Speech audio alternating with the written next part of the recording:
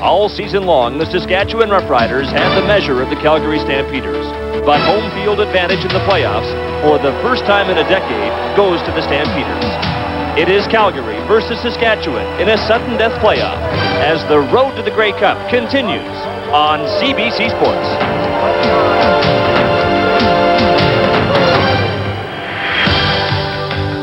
A playoff game in Calgary is a rare sight. The last time it happened, Joe Clark was in the midst of a brief reign as Prime Minister.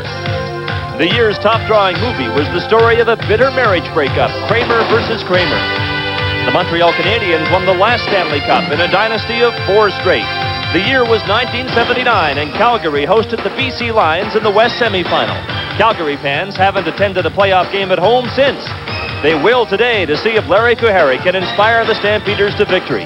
He has some options, but Kuharich has chosen veteran Danny Barrett as his starting quarterback. It's a given that Barrett hooking up with Larry Willis is part of the Calgary game plan. John Gregory's game plan is to have his Roughriders play the same way in this playoff as they did during the season, when quarterback Kent Austin dissected the Calgary defense as Saskatchewan beat the Stampeders in three of four games. Today, the season has come down to this one game, the West semifinal, on the CFL on CBC.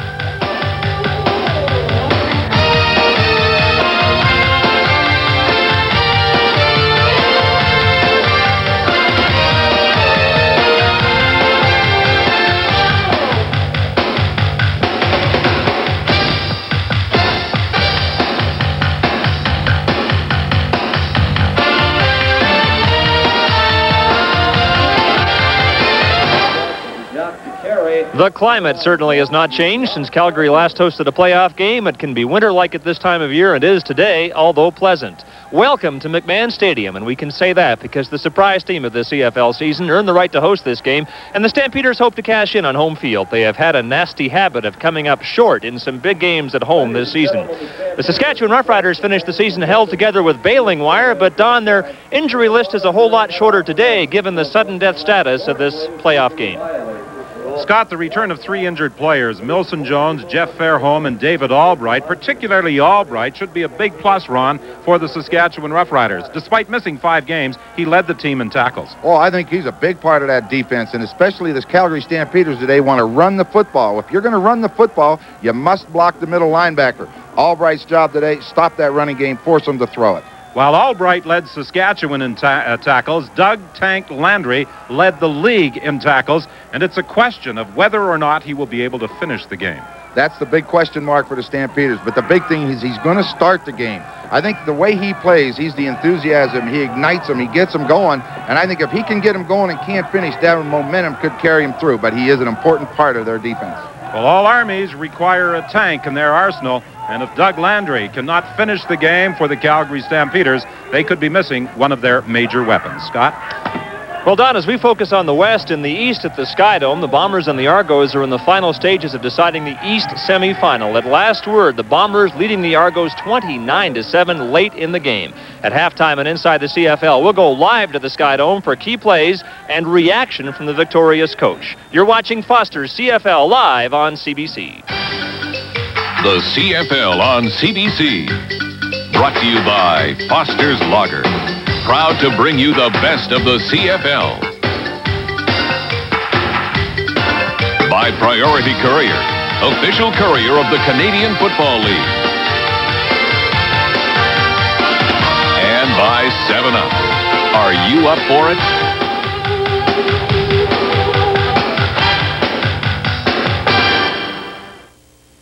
You're to like the taste of Foster's Draft. Again, everyone. It's a cool afternoon at McMahon Stadium, a temperature of minus five degrees, but conditions are actually better than were originally forecast. The weatherman had called for snow during the course of the game. The Calgary Stampeders preparing to kick off to the Saskatchewan Roughriders. Mark McLoughlin has the ball teed up at the 35-yard line. The first time Calgary has hosted a playoff game since 1979, and Tim McCray will return the opening kickoff if he can ever find it back at the 11-yard line. He loses the football, and it's recovered by McCrary.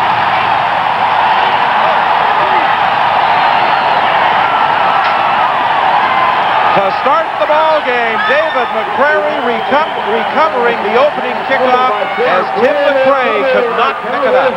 You know, Don, you hate to say it, but the sun gets into McCray's eyes at first, but then after that, he's just got to hold on. He can't find it, but watch when he does finally get a hold of it, he is really hit just on the ball. Then McCrary hits it, and then McCrary's the one that recovers it. So Danny Barrett's got the chance to get the Stampeders off and running very early. McCrary recovering the opening kickoff fumble by Tim McCray. It's first and goal from the six. And Kennard Martin is stopped at the three-yard line. They have Kennard Martin and Andy McVeigh at the running back position throughout most of the season. It was Lorenzo Graham and Tim Petros, but they are out with injuries. And those are the seasonal stats for the starting quarterback, Danny Barrett. Not a real surprise to see him starting. You know, if you're coming into a big game, you want experience it in there. You want a veteran, good leadership qualities. That's what Danny Barrett has. And if he gets him into the end zone right now, boy, that's really going to help his confidence. Second and goal, end zone pass, incomplete. It was intended for Zeno, and it will be third and goal. Marshall Toner was also in the end zone, but it was Zeno who was the target. So the Stampeders are unable to capitalize as they had hoped on that opening kickoff miscue by the Saskatchewan Roughriders, and they will be forced to attempt a field goal on third and goal from the four. I don't know, Don. You're down inside the five-yard line and around that three-and-a-half, four-yard line with three plays. Where there'll be a lot of people wondering why they didn't run straight at that Saskatchewan defense. Try to win that battle on the line of scrimmage. Mark McLoughlin with the field goal, and the Calgary Stampeders are first on the board with only a minute and 20 seconds gone in this opening quarter. 3-0, Calgary leading Saskatchewan. A contingent of Saskatchewan fans made the trek from Regina to Calgary for this playoff encounter. Not as many as they had originally anticipated, but still a large group and a very vocal group nonetheless. Well, they always are. When they show up, you know, they're going to let everybody know they're here. And they got great fans, so the big thing is they follow them, and that's what you need right now. But, you know, like, let's go back to that play. I can't believe that you you got to win the battle on the line of scrimmage in a big game, in a playoff game, a semifinal game, whatever you want to call it. you got to run at them and show that defense you could knock them off the ball. Let's update that Eastern semifinal for you. The Winnipeg Blue Bombers leading the Toronto Argonauts at the Skydome 29-7 with just a couple of minutes remaining. Winnipeg will be heading for Ivor Wynne Stadium next Sunday to face the Ticats in the Eastern Final. The Stampeders attempting a short kickoff. It goes out of bounds at the 43-yard line. It did not travel the necessary 10 yards. But the Saskatchewan Roughriders are going to take possession. They have the option and that backfired against the Calgary Stampeders. Calgary decline. Now, let me ask you a question, Ron. They attempt a short kickoff. Why would they have gambled on third and goal at the four-yard line? That's a good question. I think when you got a 7 nothing lead, go for the touchdown, number one. You only get three instead of seven. Then kick deep, try to pin them in, get field position. But right now, they've given field position back to Saskatchewan. And if Kent Austin can get this offensive movement with the short passes, get the running game going, he's got Milson Jones in there today to block for McCray. McCray's the guy that makes the offense go. If they get the running game going, it's going to be him that does it. Fairholmes is a lot like Landry. How long will he last today? The big thing is as long as he's in there, he takes pressure off Don Narcisse. And this is all that's all important in the Saskatchewan offense. Second and eight from the 41-yard line. Milson Jones playing with a cast on his thumb. Only able to pick up two yards, and Kent Austin scrambling all over the place. Still looking for a receiver downfield. Finally spots one, and the pass is complete for a first down at the 30-yard line.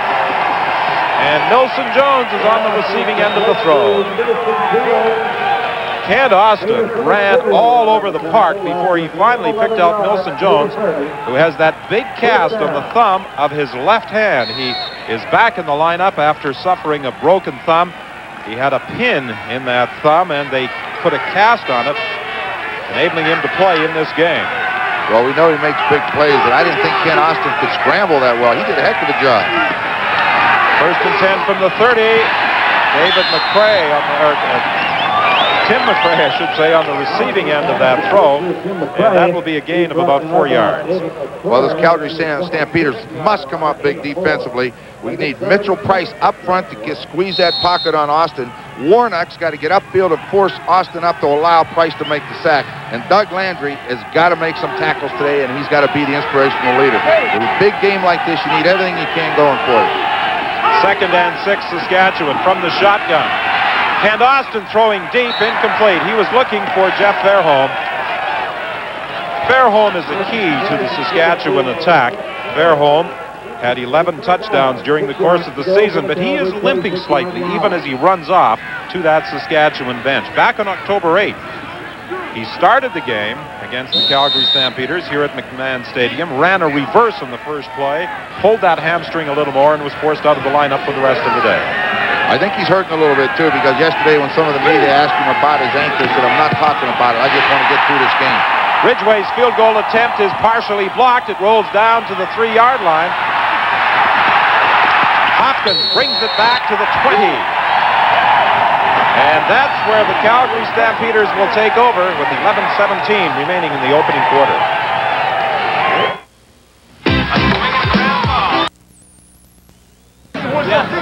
On that field goal attempt, Will Johnson's 6'5 height proved to be an advantage.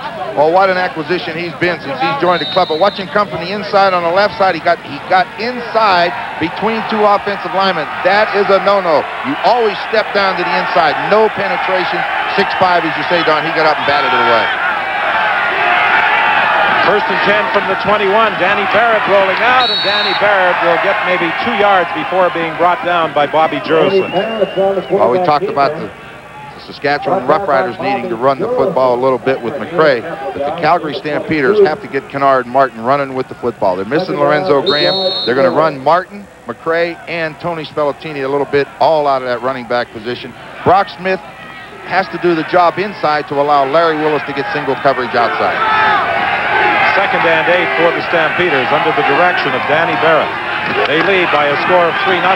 Barrett with time, throwing to the sidelines, incomplete, looking for Mark Zeno, and Calgary will be sending the punting unit onto the field. Well, we saw on first down, Danny Barrett running the option down the line of scrimmage. You know, yesterday when we were talking to Coach Kuharich, we see right here, he said they were going to run three different types of options, a speed option, a belly option, and a trap option. That time, Danny Barrett just takes it down the line of scrimmage, and he's, you know, he's got a bad knee. I'm a little bit surprised. I figured when he's talking running the option, they put Terrence Jones in for that. Danny Barrett's got that bad knee. It's a little bit surprising to see him running it early. Brent Matich stands at his own five, uh, seven-yard line for this third down kick. Good driving kick. Richie Hall waits for it at the 47-yard line. And Richie Hall returns it to the Calgary 50. There's a penalty flag on the play. Well, we're certainly relieved, and I'm sure Hall football fans are, to see Richie Hall back in the Saskatchewan lineup. If you watched our telecast last week from Edmonton, Richie Hall went off on a stretcher in an ambulance after colliding with an Edmonton player and Major foul, face mask, Calgary number 45, first down. Vernell Quinn, uh, face mask violation. It was feared he had suffered a neck injury. He is wearing that protective collar, but actually all he suffered in that collision was a very bad headache. Yeah, he'd need to take a couple days off practicing. John Gregory sat him out. Don't put a helmet on. Take it easy. Let every, let all the cobwebs clear, and he's ready to go today. So I think everybody's happy to see that.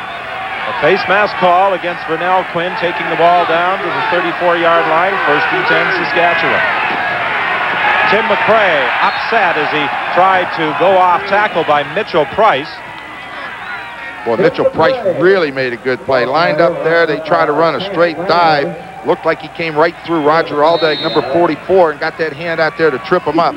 Mitchell Price is another guy who plays a lot like Gerald Bayless with the Toronto Argonauts. You know, he causes a lot of things to happen, but doesn't get a lot of sacks. But one thing for sure, you need him up on that front four. Second and eight, Saskatchewan. Austin completes the pass to Fairholm. He will be stopped short of a first down at the 25. Well, that Eastern semifinal is now complete. And the Winnipeg Blue Bombers will be moving on to Ivor Wynne Stadium in Hamilton next Sunday. They defeated the Toronto Argonauts 30 to 7. The first game the Blue Bombers have won in their last eight. Seven in a row, a losing streak that extended over the final seven weeks of the season. We suggested early in the telecast that Jeff Fairholm was having some problems with that ankle, and it's obvious that he is encountering more difficulties. And whether or not he will be able to continue is a question that has to be of concern to Saskatchewan coach John Gregory because they moved Jeff Bentrim into that slot back position and James Ellingson to a wideout position to accommodate the return of Jeff Fairholm. What you have to like about Fairholm is you, you're getting to that stage of the season where if you can get the uniform on, you play. He's giving it the shot. He's going to go out and try it. He'll go as long as he can. If you can't go, you can't go, but you, you got to give him credit for going out there and trying because a receiver that can't run is not of much use. Field goal try by David Ridgway, his second attempt of the game. This one is good. 8.48 is the time remaining with the score tied in the opening quarter. You're watching Foster's CFL on CBC.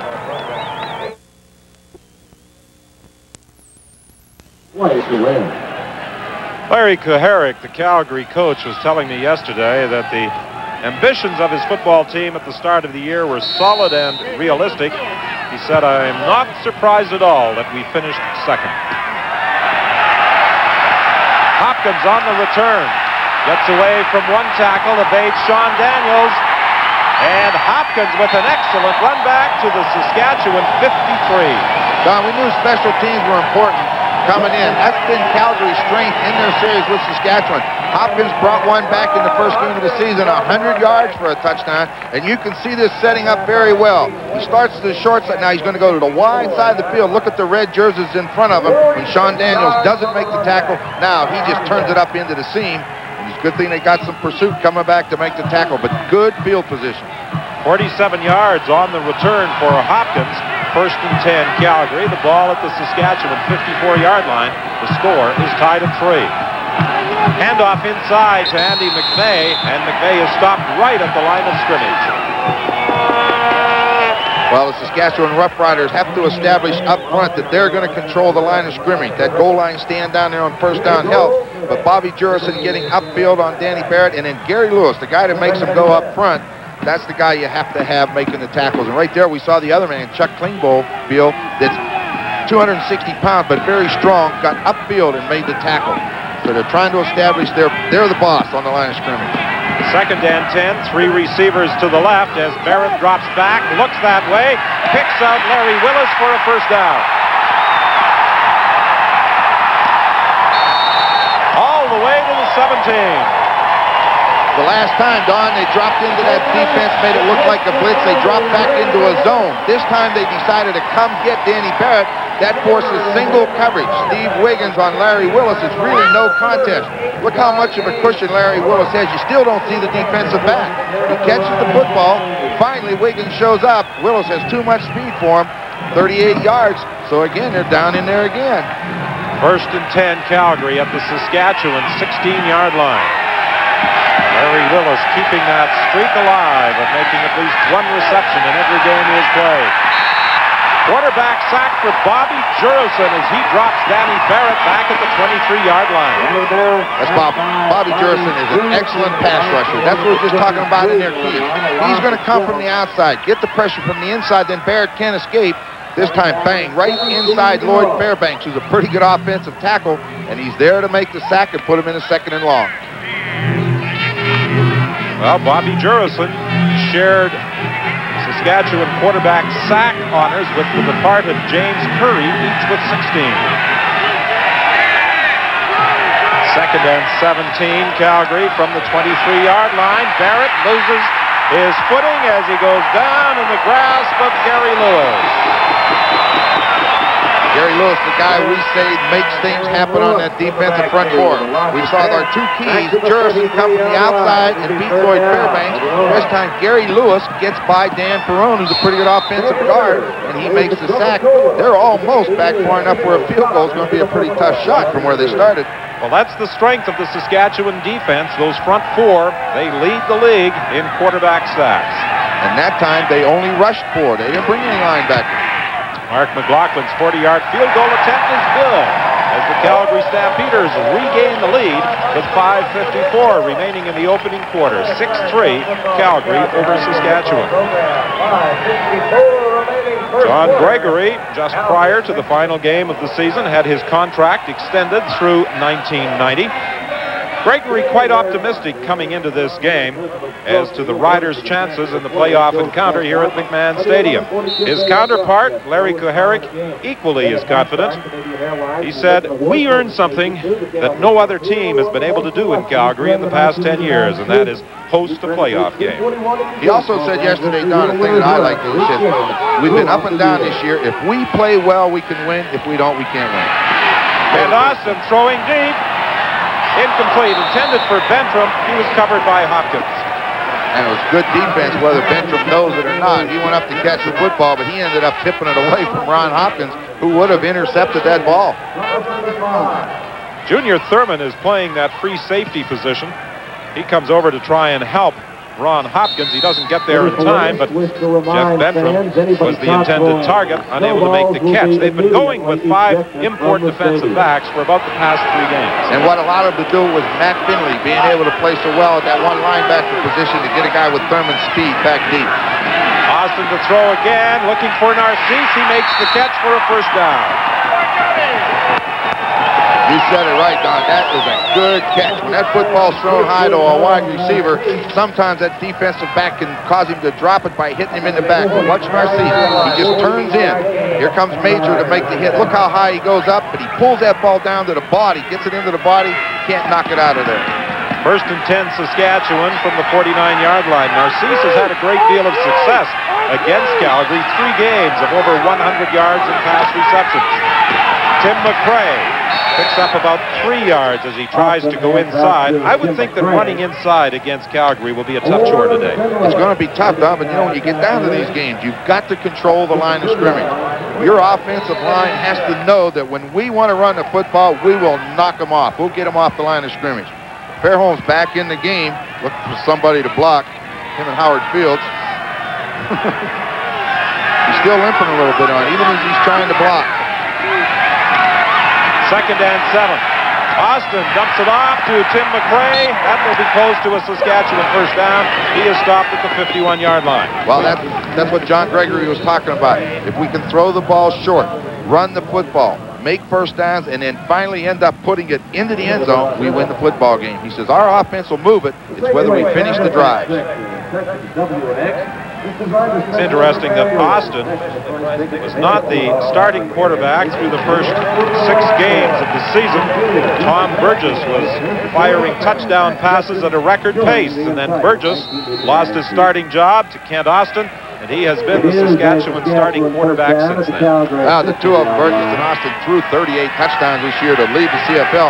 The big thing with Austin, against Calgary, he's hitting 64% of his passes. Boy, that's a big stat. He had a record day here on October the 8th, setting a Saskatchewan record for passing yardage. Tim McCray. Rob Bresciani also set a Saskatchewan record that day, 192 yards. Bresciani is missing from the slot back position. Tim McCray, the CFL leader in all-purpose yards, managed to churn away for four on that run. It's second and six Saskatchewan. The ball is at the Calgary 47-yard line. Here comes the blitz. It's picked up by Saskatchewan. There's the pass, complete for a first down. James Ellingson, the man who is nicknamed the Duke. One of the things about Ellingson, he likes to play Calgary. He's had his best days against the Stampeders, but moves to a wide out. Again, man-to-man -man coverage, pass is high, but what's Ellingson? All right, come on back to the football, get the hands and pull it down right now. Good defense, but it's a good catch by Ellingson in the first down. He has pleasant memories of the October 29th game right here his first two professional touchdowns against the Stampeders. Fake inside to McCray. Austin to the sidelines, and that will be another Saskatchewan first down. Donald Narcisse on the receiving end of the throw.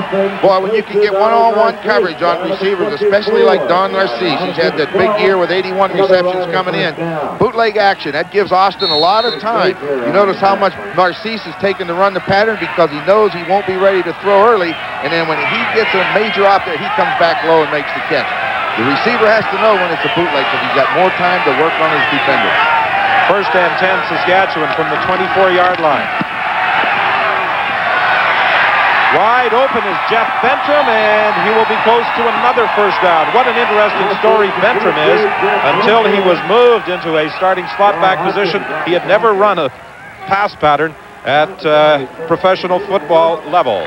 Now let's bring in Scotto. Well, Don, if you want to be fashionable and dress for the weather, you go and get yourself a pair of glass cutters gloves. Every one of the Saskatchewan receivers has followed the lead of Jeff Fairholm, has brought them up from the States and wearing them as well is linebacker Dave Albright. The big advantage they find about them is they've got a sort of a tackiness about them that'll let you hang on to the ball if you get close to it. It's intercepted in the end zone by Hopkins. Pass intended for Jeff Bentrim, and the Stampeders had double coverage. And they come up with the Hopkins interception with 136 left in the quarter. Watch. Only one of these. Well, Ron Hopkins has had a definite impact on this football game with an interception and a fine kickoff return. And the Calgary Stampeders, leading by three points, take over first and 10 at the 25-yard line. Good cornerback, never takes his eyes off the quarterback. Wide receiver on a quick out, he watches the quarterback. When he lays that ball up, he cuts in front of the guy going deep for the interception. Good, Good. play. Good fake by Barrett as he dumps it off to Andy McVeigh. McVeigh brings it out to the 43-yard line. Excellent fake by Barrett as he throws everybody at the line of scrimmage. And drops that ball off to McVeigh, who's wide open in the flat. That's the guy that John Gregory was telling us about before the game. A year or so ago, he ran wild up here. But there's the fake. Look how much time he's got. Now, McVeigh, get that ball into the arm. He's going to pick up a good block right here. And now he just gets the thing upfield. First down, the Stampeders are moving. First and 10, Calgary. The ball at the 43-yard line. 47 seconds remaining in the quarter. Another good fake by Barrett. This time he overthrows Larry Willis. And it will be second and 10. Barrett has done a good job of faking the run and then dropping back and throwing the ball. I think that's what Coach Gehrig likes about him. Danny Barrett will, if you're going to have a run fake, sell the run. You must sell the run. You got to put the ball into the back. Let them see you put the ball in. Then when you take it away, that freezes the linebackers. A lot of times quarterbacks don't do that, and those linebackers ignore them and drop right back. I like that expression, sell the run. The Saskatchewan Roughriders have definitely been buying. Yeah, you got to sell it. If you want those guys to bite, you got to put that ball in. It, it always helps. Like if you go back to when I played, I didn't have a bad guy to fake to because George Reed could run. If you put the ball there, they knew they had to tackle him, and that helped me. It helps the line, it helps everybody, and that's what Danny Barrett's doing. I think your expression, not having a bad guy to fake to, might be the understatement of all time. 11 1,000-yard rushing seasons for George Reed. Well, there's also a thing they try to do here is bring bring the back out in motion. Try to get that linebacker to move out. If he moves out, then you hit that trap and go inside. But Eddie Lowe had none of it. The way he run the trap, he steps up and makes the hit. Brent Matich stands at his own 30-yard line for this third down punt. This should be the final play of the opening quarter.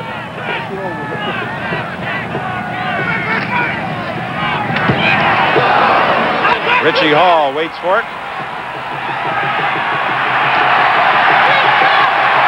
Richie Hall gets a block. Matich slows him up, and then Palumbo finishes the job over in front of that Saskatchewan bench. And that is the final play of the opening quarter. Calgary leads by three. You're watching Foster's CFL on CBC. 37 yards.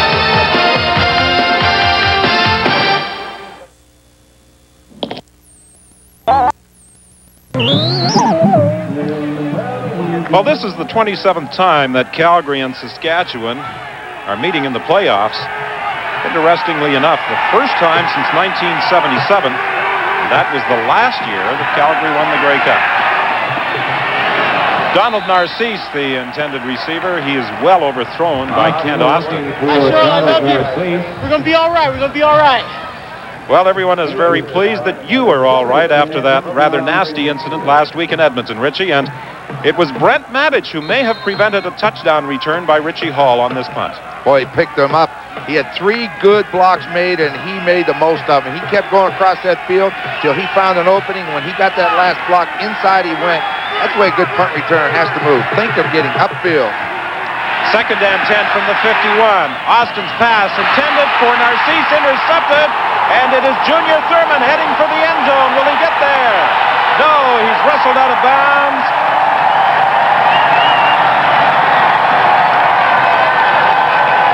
McCray stops Junior Thurman from going all the way as he was alert to grab the deflection off the fingertips of Donald Narcisse. Boy, that's excellent coverage by um, Chris Major. He held with Narcisse. Narcisse couldn't get the hands on it. He don't don't use your hands. It bounces off the shoulder pad up in the air. Thurman takes advantage of it, picks it out of the air, and away he goes. You know right now when you take your middle safety and man coverage and take him all the way over to Narcisse, they're worried about Narcisse. They double covered him with the free safety. 50 yards on that return for Junior Thurman. 14.04 remaining in the second quarter. First and 10 as the pitch goes to Kennard Martin. He is stopped at the 17-yard line. He got back to the line of scrimmage. Maybe he picked up a yard. Didn't get too much. Good pursuit by the Saskatchewan defense down the line of scrimmage. Force that back to cut in with a football, and then that pursuit gets him. Watch, there goes McVeigh. He's going out to make the block. Martin can't get outside. Watch number 99 coming from the inside. Chuck Klingbeil again. And he's a ton.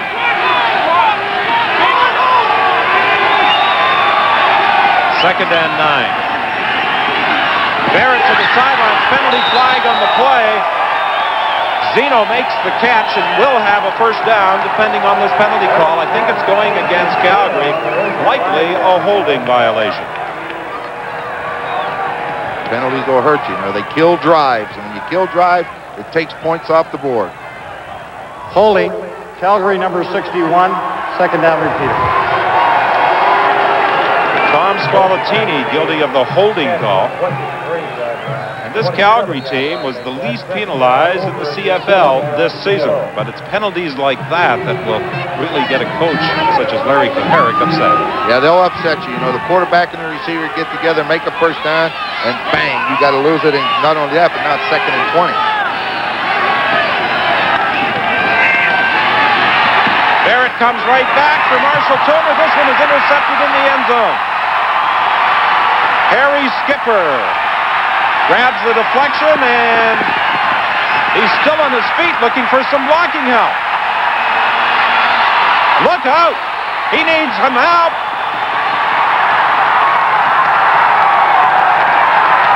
I think he's simply going to run out of gas down at the 12-yard line.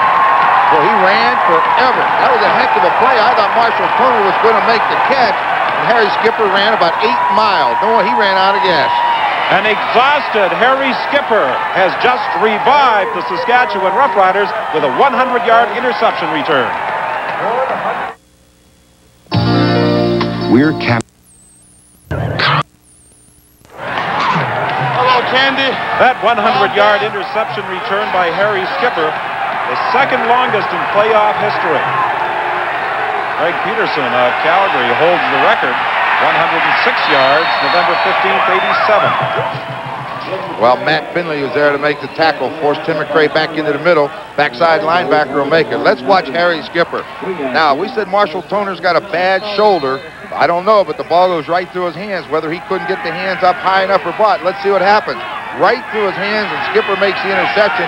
Now he starts everywhere. He runs everywhere he can run. But almost a touchdown, and it ends up as a turnover. And now the, the uh, Stampeders are in trouble. So is Kent Austin.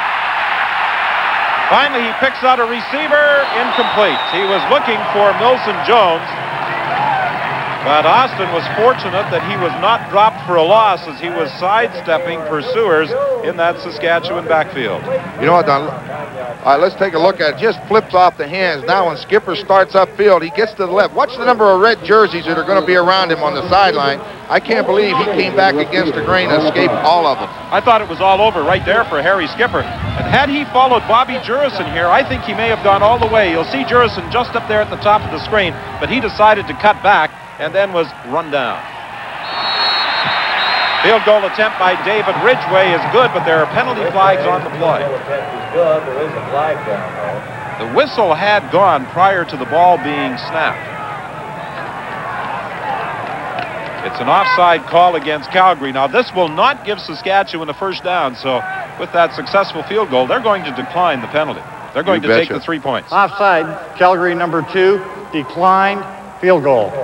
Good call. I mean, they didn't give them the first down. They would have still been about two yards short, Don. They'd have had to try it again. Don't take the points off the board when it doesn't give you the first down in close. Well, I remember when Bud Grant was coaching the Winnipeg Blue Bombers back in my first years of calling CFL football in the early 60s. He once told me that you take points whenever they're presented. You know, I've, I have to admit, I've played in some games where I've taken points off the board and then it's hurt.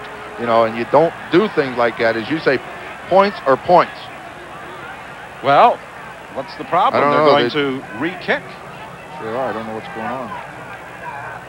You can take part in the Excitement 89 promotion with Vashon. They're still two yards short. Now, the whistle had sounded prior to that ball being kicked. That, That perhaps is is the reason that Ridgway will re-kick. Is he still out there? Now they're putting the ball back. They didn't take the penalty. Winter Saskatchewan declined the penalty so that you get the better angle to kick. The ball's back to the original line of scrimmage. You had marked off five yards. I think they declined it. Didn't want the five yards because the whistle had blown. Ridgway once again puts it through to tie the game at six with 11-11 remaining in this first half. Well, you think about what John Gregory said. They must finish drives. Now, Harry Skipper goes 100 yards and gets them down inside that 20, inside the 15-yard line. They have to kick a field goal. The other end, same thing. They could not finish him. He said, if we finish our drives, we'll win the football game. You know, a lot of people have been talking about the last time these two teams met in a playoff encounter, referring to that 1971 series when the West was decided in a best of three affair. That year, Calgary won in two straight games. People have confused 1970 with 1970, the year that Larry Robinson kicked a field goal in the game's final play into a howling blizzard in Saskatchewan for a 15-14 Calgary win. You remember that game, don't you? I remember that one, and I don't remember 71 at all. I mean, I don't know what happened. I know I'll never forget that. I don't know why you remember games you lose. You know, why don't you remember the ones you won? Because we won a lot of them. Well, the Saskatchewan Roughriders remember that year because they had a record of 14 and 2 that season. Calgary and Edmonton that year were both 9 and 7. Kennard Martin on the kickoff return, brought down by Dan Rashovich, close to the 40-yard line, a 22-yard run back. Well, next Sunday we'll be at Ivor Wynne Stadium in Hamilton for the Eastern Final, the Tiger Cats, entertaining the Winnipeg Blue Bombers, 30 to 7 victors this afternoon over the Toronto Argonauts in the Eastern semifinal. And we hope to have Mike Riley at halftime on today's telecast to talk about that victory as well as taking a look at some of the highlights of the Winnipeg Blue Bombers' first victory in their last eight games.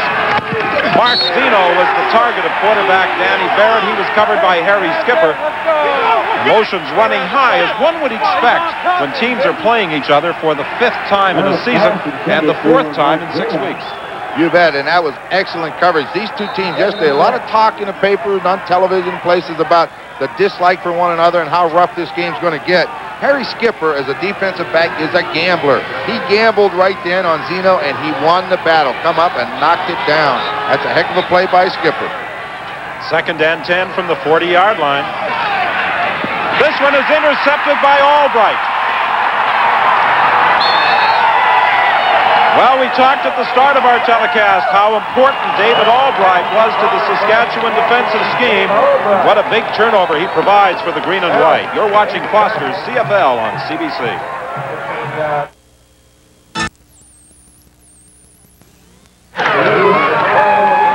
Well, the 6'2", 235-pound product of San Jose State is kind of the quiet man of that Saskatchewan defense, but he leads by example. You know, the strange thing here is John Gregory told us today in the locker room, he says that we really like him against the run. Well, he shows it on when Danny Barrett lifted that ball. He really got back underneath that pass. First and 10 from the 30-yard line. Austin throws to the sidelines. Donald Narcisse steps out of bounds. And that should be another Saskatchewan first down. You know, five of six Saskatchewan possessions have started in what you refer to as plus territory on the opposition side of midfield from the 43, 34, 52, 12, And following that Albright interception from the 30, and yet they've only got six points. Well, that goes right back to what John Gregory told us, right? If we can't finish our drives, and heck, half the drives made for you when you start down here, they need to get it to the end zone. First and 10 from the 18. Austin throwing for Narcisse. Again, he went high to make the catch. Stripped of the football by Chris Major. But they're going to rule that he made the reception at the 11-yard line. On the play before, Don Narcisse went down the field on Major, ran a double out, which means he went to the sideline, started deep into the outside. This time he curls to the inside, that is a heck of a catch. Again, a high ball that he is able to pull down and keep Major from knocking away. 9.41 remaining in the half. 6-6 Saskatchewan and Calgary in this Western semifinal. The winner will face the Edmonton Eskimos next Sunday at Commonwealth Stadium. Oh, big hole for McCray to the three-yard line for a Saskatchewan first down. It will be first and goal for the Rough Riders. This power off tackle. That offensive line block down, kick the outside man out and give it to a guy like McCray, and he just runs straight ahead. He doesn't know any different. He never dodges. When Once he goes upfield, he goes straight to the goal line. He got down to around the three-yard line. Doug Landry made the tackle, and he is the Calgary player who is down. And if he is forced out of the ball game, this will be a definite blow for the Stampeders. At the start of our telecast, we suggested that Landry would start, but the major concern of the Stampeders is whether he would finish. Well, Coach Kuharich made that point yesterday. He says, we're not worried about who starts. We got to know who's going to finish. Doug Landry even made the same statement in a local paper. He said, I don't know how long I can go. The consensus is when you have a shoulder that's beat up like his is, you take on a couple shots real quick, and it's going to finish you for the day. And right now, he's still down. Let's take a look and see if he, what he does. All right, there's McCray. Landry takes the hit and lands on it on his left shoulder, and then McCray and Junior Thurman come down on top of him. Well, you know, if it's at all possible, Doug Landry is going to be in the ball game. I think Doug's going to have to go out and you know let that pain go away and come back in if he's going to. But it's it's tough for a guy to come in. You know, it's a tough for a guy to play when you're hurting a little bit. And weather's cold. That hurt hurts a little bit more and a little bit longer.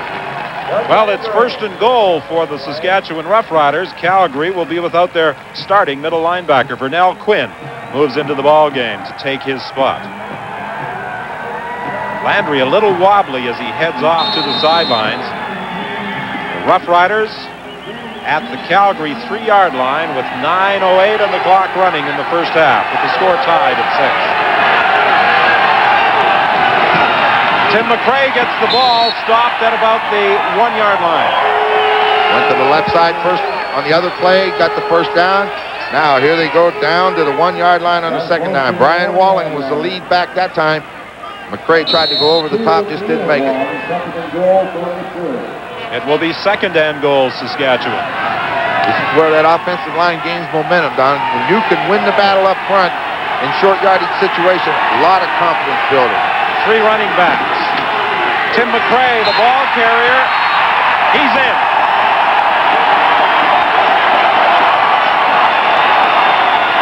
Stampeders protesting to the official who raised his arms. Larry Kuharich didn't like the call, but apparently Tim McCray broke the plane.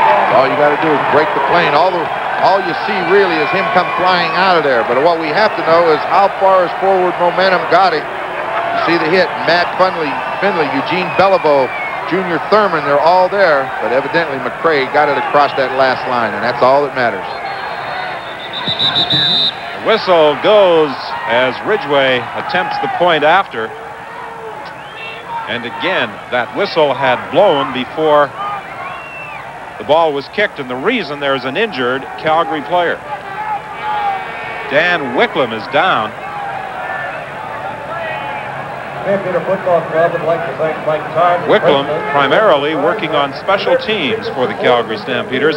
At the start of the year, there was the question of whether or not he would ever play again in the Canadian Football League. The Winnipeg Blue Bombers left him unprotected because of the injury he suffered late last year. Calgary Stampeders took a chance, signed him to a contract. He returned to the lineup, and primarily has worked on those special teams. He has a knee problem, and he also handles the snapping chores for the Stampeders on field goal situations. Saw an interview with him very early in the season, you know, when he made his comeback and everything, kind of surprised a lot of people. He said, if I didn't give it the chance, I might regret it the rest of my life. He said, I'm going to do what I can, and if I don't, that's okay. Here goes McCray. Let's see where he goes. Again, we see him fly out of there, but you can't see that last line. But the referee on the side, it's his job to watch the line, and if the ball breaks the plane, he signals touchdown. So Ridgway will attempt the point after. 8.26 remaining.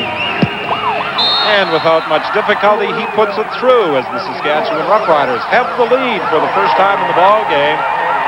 13-6 over the Calgary Stampeders with 8.26 remaining in the half. Well, coming into the game, Don, we thought for sure, the way we talked about it, we knew Saskatchewan would move the football in Calgary. The key would be whether Calgary could move the football. Now, they've had their chances. If you think back, that holding penalty that cost the Calgary Stampeders the first down, down in on, inside the 10-yard line, the very next down, an interception by Harry Skipper. So, you know, you just can't turn the ball over because of penalties. Scott?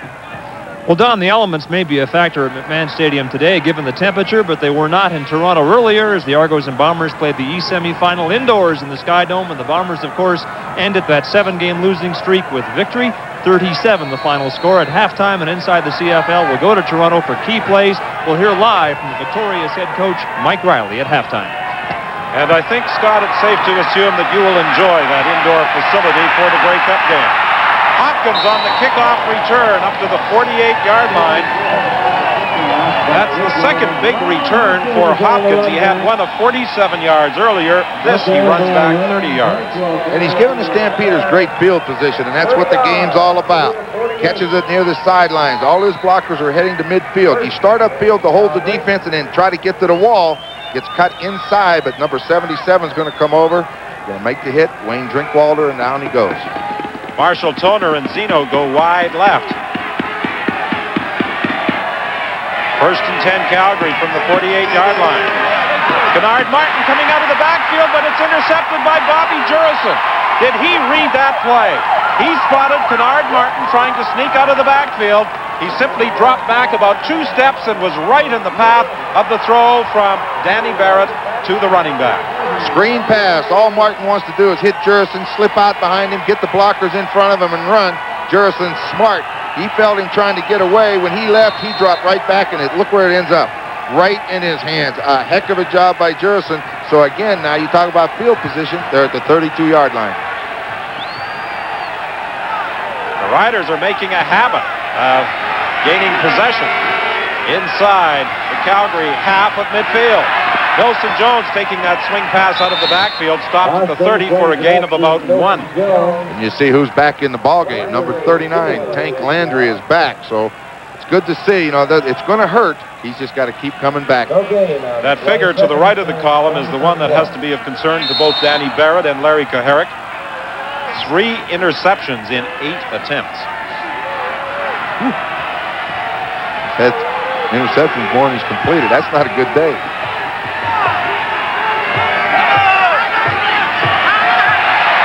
On second down, throwing to the sidelines, and that is a first down with Donald Narcisse rolling into the snowbanks that line McMahon Stadium.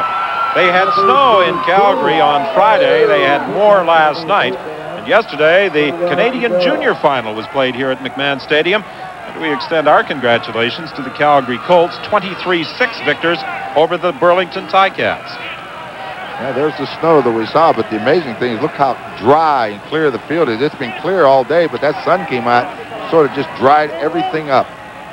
Boy, Don Narcisse is having a heck of a game over there in a battle with Chris Major. He gets that one-on-one coverage, and, and Narcisse is so confident now. He just seems to be able to get that step when he needs it, and when he gets that step, Austin gets him the ball. You know, we saw that snow. It can disappear just as quickly as it accumulates when a Chinook blows in, and that temperature can rise 35 or 40 degrees inside of a couple of hours. It's short of a first down. It's third and one, and the Rough Riders are going to gamble with 6.56 remaining in the half. Saskatchewan in front by seven points. Kent Austin keeps. He's inside the 20-yard line for a Rough Rider first down. Yeah, they took Tank Landry out of the ballgame, put Dan Wicklum in at the outside, moved Matt Finlay into the middle. That's kind of a tough job to move a guy inside. Now Landry will come back in. But again, they made the first down, and that's key for the Saskatchewan Roughriders. First and 10 Saskatchewan from the 20-yard line. The Riders have dominated since that first Saskatchewan drive, or Calgary drive, when they recovered the fumble by Tim McCray. Austin throwing into the end zone, incomplete.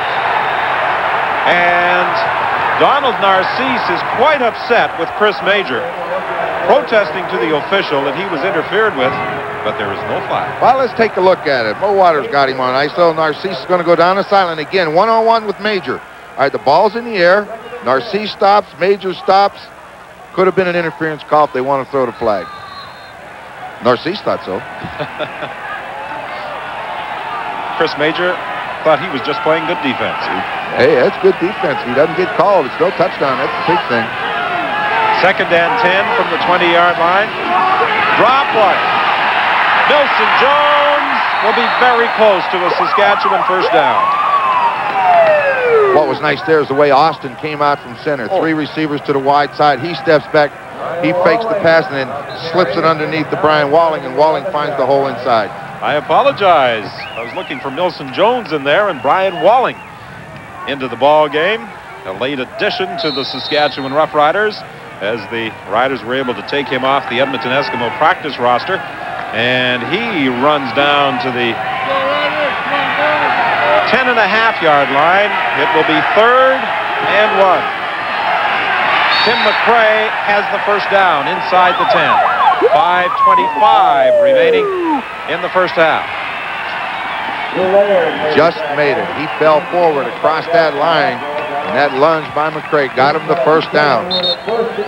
He had to get across the white line top of your screen. He gets hit.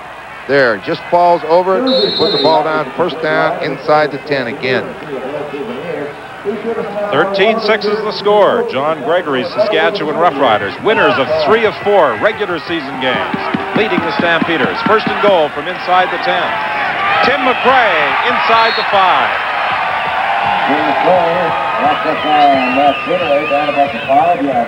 With those three receivers out wide, start rolling that way, and then Tim McCray just gets in behind that offensive line. In that case, it's Bob Poley and Vic Stevenson, and he reads their block. All he does, whichever way they block their man, he goes the other way, and that time he turned inside, picked up about five yards. A lot of work already in this ball game for Tim McCray. Walling comes in. Milson Jones goes out for Saskatchewan. Tim McCray gets the call. Touchdown.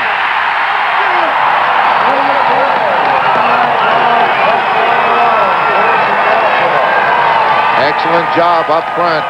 Anderson, Poley, all day, and Stevenson. All they do is fire out, hit the nearest stampeder to them, drive them off the ball, and let a good running back that Tim McCray is, he will do the rest. He'll find the hole, and he went in standing up. After a shaky start created by that man, Tim McCray, the Saskatchewan Roughriders have taken control of this football game. Yeah, they have. They've They've been able to get some turnovers. They've been able to make the plays when they've had to have them. Narcisse has made the second down catches for them, and they've put it in the end zone. The point after by David Ridgway. Saskatchewan leads by 14. We'll be back with the Rider kickoff after this.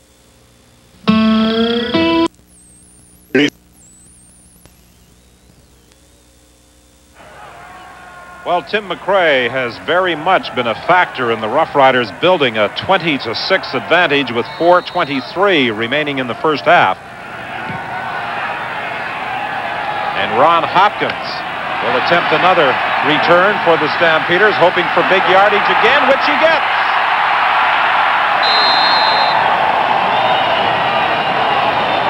Seems like Ron Hopkins gets some yards on the kickoff return, and they either turn it over or don't go any farther. But that's, you know, he's doing a heck of a job returning kickoffs. 47-yard return, a 30-yard run back, and this for 38 yards. Well, they got to get this ball down the field. So we say, just fire off, hit the closest guy to you, then let Tim McCray run. You saw Mike Anderson drive his man right across. McCray cut right in behind it. That's what it's all about. First and 10 Calgary from the Saskatchewan 53. The pitch is to Kennard Martin. And out of bounds he goes, but not before he rips it all the way to the Saskatchewan 32-yard line. Well, trailing 20 to 6, you gotta you gotta make a decision. The Stampeders came in wanting to run the football. They hadn't done it yet, and they hadn't moved the football very well. This time, get the ball to Kennard Martin outside. A good job when he gets turned up the corner. Now he's just going to run till they knock him out of bounds or something. But that's what they have to do. Don't get away from your game plans too early. Out of North Carolina, he'd be in his junior year of college had he not been forced to sit out because of academic inconsistencies. And he's inconsistent as a ball carrier as well. A big run of 22 yards, and that time he slips right at the line of scrimmage. They had him pretty well pegged trying to get outside. Come back with the same play just the other way. See, that's Tom Porras, the quarterback that's not dressed today, talking to Coach Herrick on the sidelines. But the big thing is now they're into the second and 10 situations. This is when that Saskatchewan front four can get after him, and Danny Barrett has to convert it. 3.11 is the time remaining. Tom Porras looks on. Danny Barrett directs the attack. Second and 10. Stampeders need a play here. Like to get a touchdown before they go to the dressing room, and they may if they can keep firing strikes like that to Brock Smith. Well, that was a good job by Barrett. They brought Glen Suitor up like a blitz, and then they bring him right in where he leaves. 2.53 remains in the half. This is Foster's CFL on CBC. Number 15. At Toronto Skydome recently, CFL President Bill Baker received the War Amps Place. Brock Smith's initial reception of the afternoon gives Calgary a first and 10 from the 15-yard line. They've been down in this neighborhood before, but that Harry Skipper interception ruined the scoring drive. Andy McVay bulls his way inside the 10 set McVay off like he was sitting out there on that play before when he led on that toss sweep. This time he sits out wide and then all that Danny Barrett does is open step back inside and hits right up the middle. Gets good yards inside. Lorenzo Graham and Tim Petros, who have done most of the work on the ground this year for the Stampeders, are both out of the lineup as the result of injuries. So Kennard Martin and Andy McVay are in. It's second and three Calgary from the nine-yard line. Barrett won't get a chance to throw. It's Lewis up the middle onto the Calgary quarterback before he could even get set. Well, he was going to play action fake to McVay right up the middle, and then he was going to play action off of it. He got fooled. Gary Lewis came hard on an inside charge. Watch how fast he's in Danny Barrett's face. A quarterback has no chance. You know, you need three steps to throw it, not two. Watch him coming. There he is. Nobody touches him.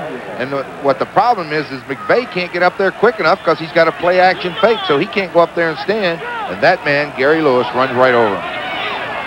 Well, the Stampeders will attempt a field goal of 22 yards, and McLoughlin puts it through with two minutes remaining in the half cutting the Saskatchewan lead to 11 points. But the Stampeders really wanted a touchdown. They wanted to get into the end zone before they head to the dressing room at halftime. That was a big offensive series for the Stampeders. They moved the ball a little bit. Kennard Martin made a run. They hit a second down 10 situation. But when you get down there, it's a big one because you're trailing 20 to 6. Put that in the end zone. You're only down seven going in at halftime.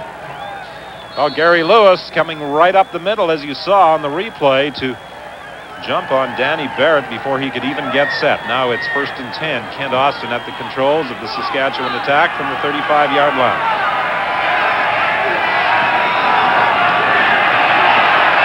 Throwing it over the middle to Tim McCray. He gets one block. And Tim McCray is up to the 49-yard line. First and 10, Saskatchewan. That's a gain of 14. One-on-one, man-to-man coverage. They go to Narcisse outside. He beats Major, and they make first downs.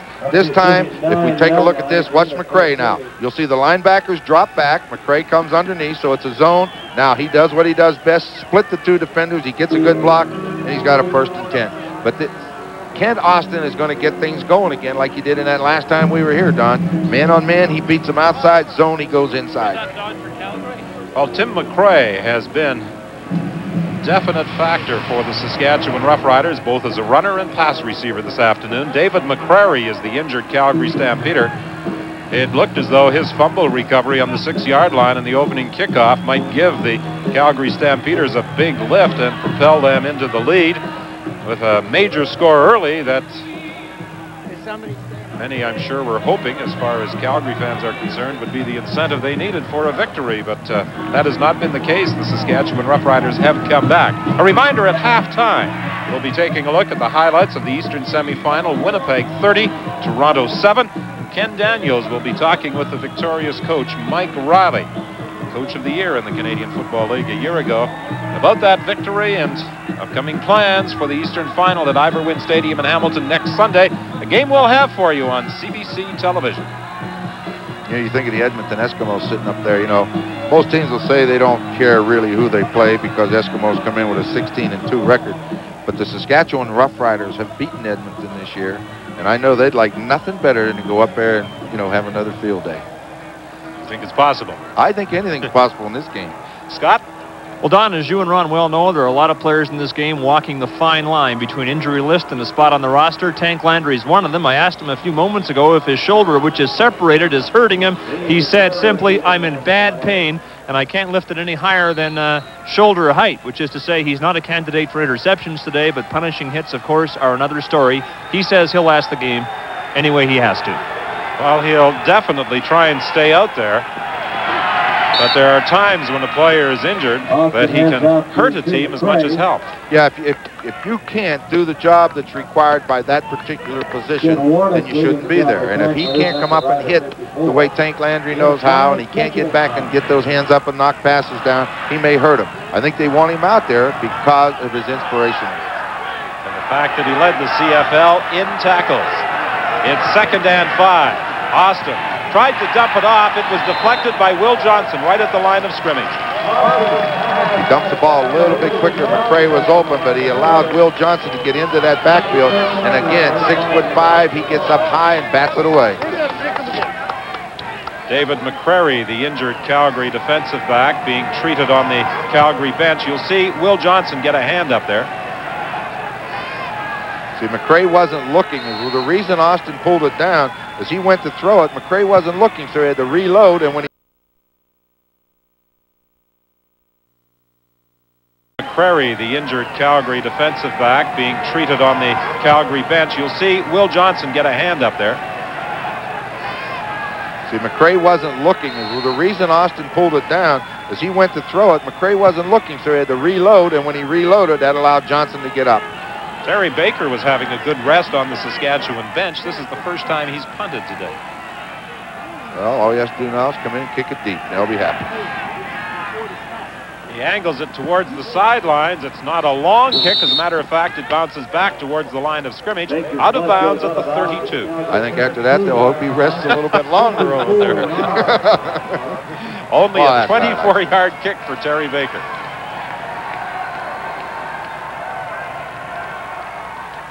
114 is the time remaining. Stampeders desperately want to try and put more points on the board before going to the dressing room. Well, Danny Barrett has at least evened his completions and interceptions.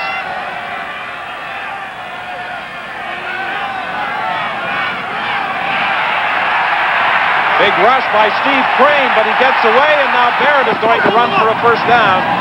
Forced out of bounds up at the 43 that's athletic ability. I'll tell you what, they had that blitz showing. They got everybody up, and Crane comes unblocked. Watch Danny Barrett. He knows he got to step inside it. If he can get outside, he's going to have a lot of room. He also knows that. He goes down the field and heads to the sidelines without taking a hit. That's a good play by Danny Barrett. That's where you have to have a lot of confidence in your offensive lineman when you see that guy coming from the outside and you step inside. yeah, and, and you're going to step inside. You're going to step someplace, but the offensive line did the job for him that time. First and 10 from the 42 and a half. This one is almost intercepted by Steve Wiggins. It was well over the head of Rock Smith. It will be second and 10, 103 remaining in the half. Well, you see Wiggins out there. He sees the receiver and the ball in the air. He's trying to arrive at the receiver the same time the ball does to try to cause an incompletion. But that ball was overthrown, and he just couldn't adjust to it when it was in the air. But He really doesn't care. There was no completion either.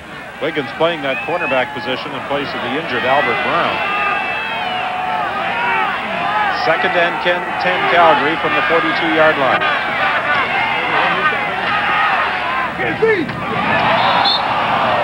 Zeno tried to run before he had possession of that football, and it's third and 10 Calgary. They'll have to punt this football with a minute left. You don't take too many chances here. Down 20 to 9. Now the key is don't go in by giving up any more points. Brent Matich stands at his 27-yard line for this third down kick.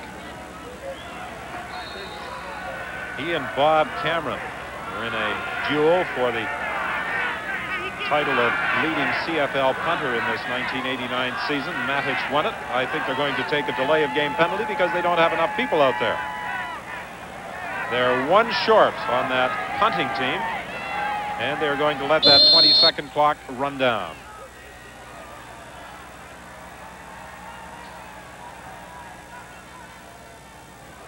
Time count violation. Calgary number four, third down repeated.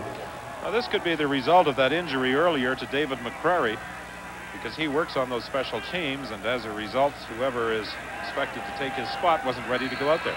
Yeah, you know, you tell those guys on the bench, you know, the backups and on special teams, you, you're on one team, either the starter or the backup. You always got to stay in the game, and this time it cost them five yards. I don't believe this.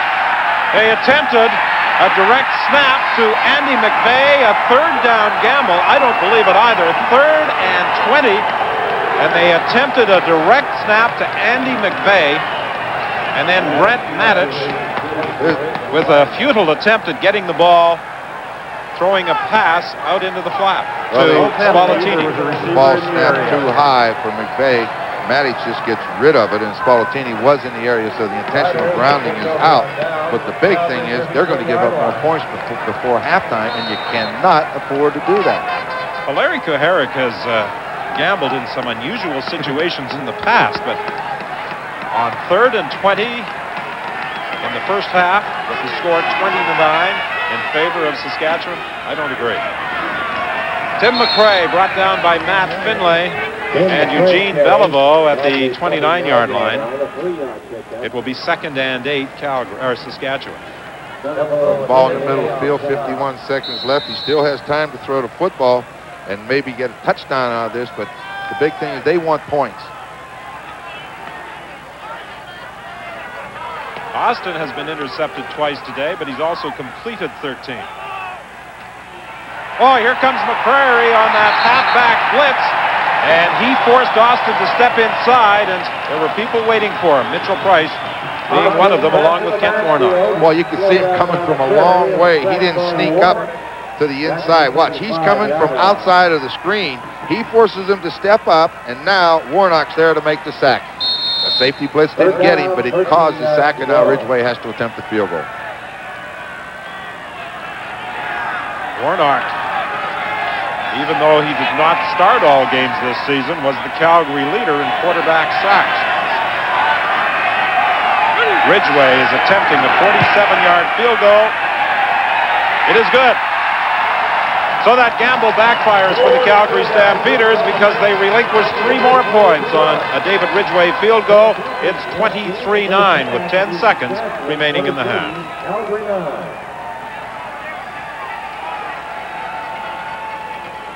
I think they'll make him kick off. I mean, Hopkins has had success. He may go the distance on one.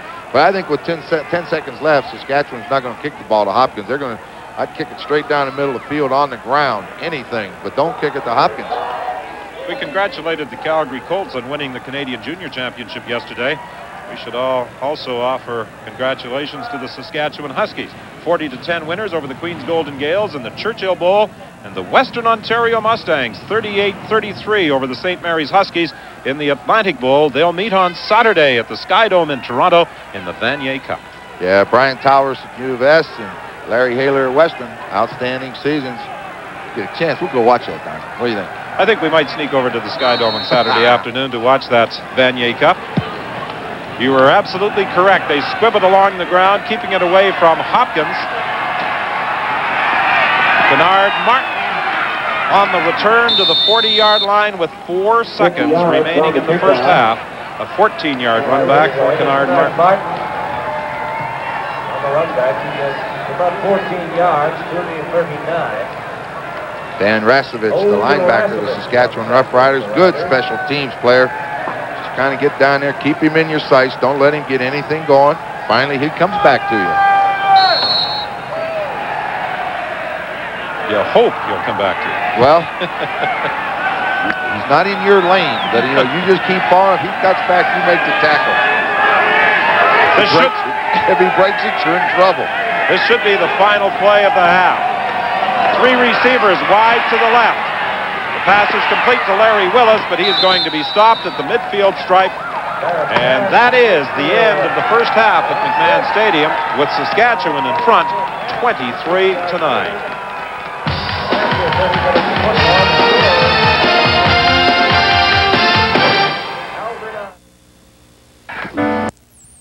We're in Calgary, Saskatchewan, leading the Stampeders 23-9 at the half, and welcome to Traffic accident, but it's one of the most.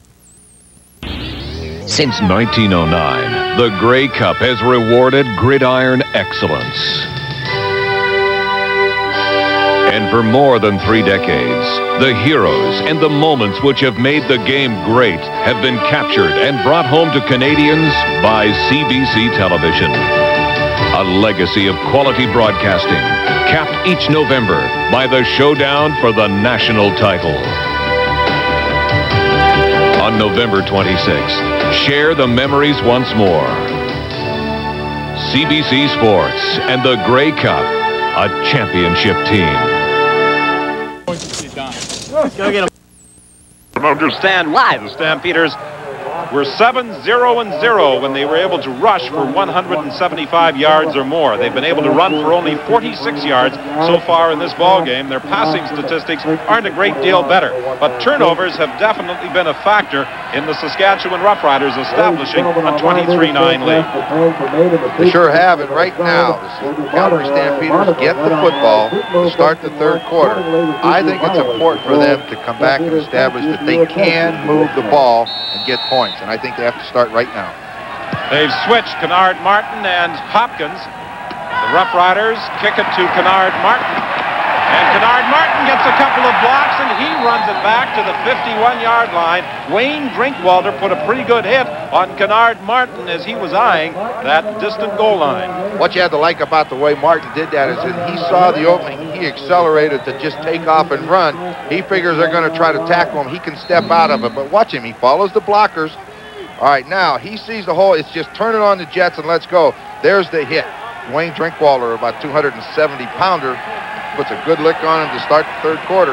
A 38-yard run back by Martin. Martin trying to get to the outside. He stays in bounds and will pick up maybe three yards directly in front of that Calgary bench. One thing the Calgary Stampeders have to be pleased about, at least their offense, every time they've had to receive a kickoff, have started right around midfield. They've had excellent field position as the result of three fine returns by Hopkins of 47 yards, 30 yards, and 38 yards, and then this run back of 38 yards by Kennard Martin.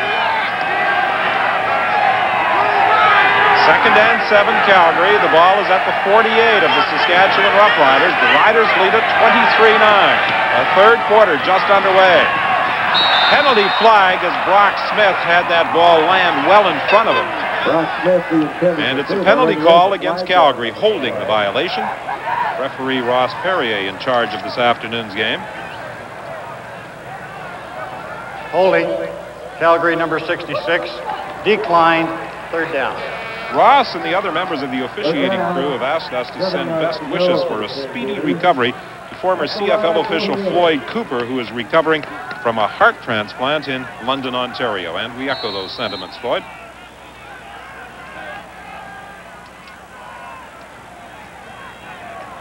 Matich punting on third down from the 48-yard line. Narcisse on the punt return team bounces off a couple of tackles and then goes down at the 22-yard line. 33-yard kick and a 7-yard return by Donald Narcisse. What a year he has had for the Saskatchewan Roughriders. I see Dan Wicklum makes the snap. Now, Tuineau Alipate, his must be his man on the kick returners. On this punt return, he's determined that Wicklum's not going to get into this play. Was that WWF, or were they concerned about where that football was going? Uh, Wicklum was trying to escape with his life, it looked like. Ken Austin completes the pass. No room for Jeff Fairholm after making the catch.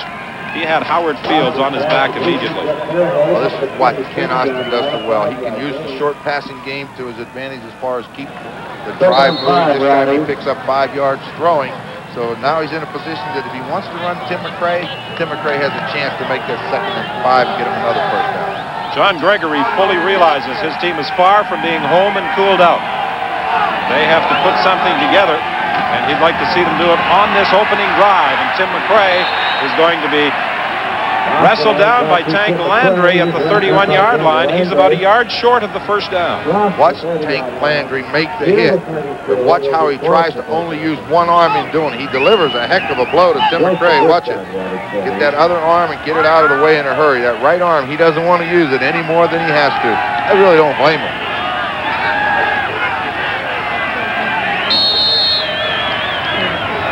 This is only the second punt of the ball game for Saskatchewan kicker Terry Baker standing at his 15-yard line. He'd like to improve on his first effort of 24 yards. Darcy Kopp waits for it at the 43, and down he goes at the 46-yard line. And as the Calgary offense comes onto the field. Let's join Scott Well, Don, I'm with a man who has got more than a passing interest in this game today. Edmonton quarterback Tracy Hams made the trip to Calgary to watch this semifinal. It looks as though right now, Tracy, Saskatchewan is the team you'll be playing in the uh, final next week. Your thoughts on that? Well, um, we've played both teams several times, so it, it doesn't really make a difference who we, we play. We've um, prepared to play both of them, and and uh, we we're just sitting and waiting. You're surprised Saskatchewan has the upper hand in this game as they do right now? Well, not really. The, the turnovers, you know, anytime you turn the ball over like Calgary's turned the ball over, you can't expect to um, put points on the board, and Saskatchewan's taking advantage of that. What have you learned in this game you'll put to use next week in the final? That is cold out here on this turf. and you want to go back inside. grass. Is that what you're trying to tell hey, me, Tracy? Valerie, yes. Want to get back on grass. I want to get back to Edmonton. All right, get out of here. Go back inside. Thanks, Tracy. Don? And Scott, you stay down there in the snow, in the cold, on the sidelines. Tracy Ham, Craig Ellis, and Keith Wright, three members of the Eskimos, along with assistant coach Gary Durchik, who made the trip to Calgary for this semifinal playoff encounter. Second and 10, Kennard Martin was stopped right at the line of scrimmage, Saskatchewan showing blitz. Now they back out of it with safety Glen Suitor. Danny Barrett couldn't find a receiver. He was looking initially, I think, for Marshall Toner. He's hauled down by Gary Lewis. Every time Saskatchewan gets in second and long, they've been bringing Glen Suitor up on the outside. Sometimes they blitz him, sometimes they don't. But when he's blitzed, he's had success. This time they drop out of there and double cover. That forces Barrett to pull it down to run. Nowhere to go. He is sacked. Four-man rush again gets to Danny Barrett. Brent Matich stands at the 32-yard line for this third down punt. 11:23 remaining in the third quarter.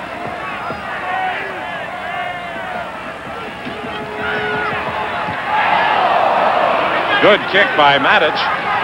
Taken by Richie Hall at the 20-yard line. Fumbles the football. Who's got it? Calgary claims they have the ball. But the officials identify a Saskatchewan player as having possession. 11.07 remains in the third quarter. You're watching Foster's CFL on CBC. I'm going to see Don. Some members of the Saskatchewan Roughriders taking advantage of the propane heater that is located behind their bench. Scott, I'd suggest maybe you wander around to the Saskatchewan side of the field if you're worried about the uh, cold down there in the sidelines. Tim McCray stopped at the line of scrimmage.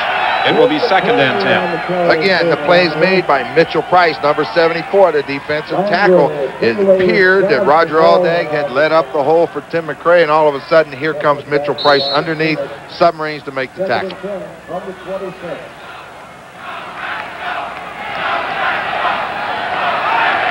Twenty-three nine, Saskatchewan leads. Second and ten.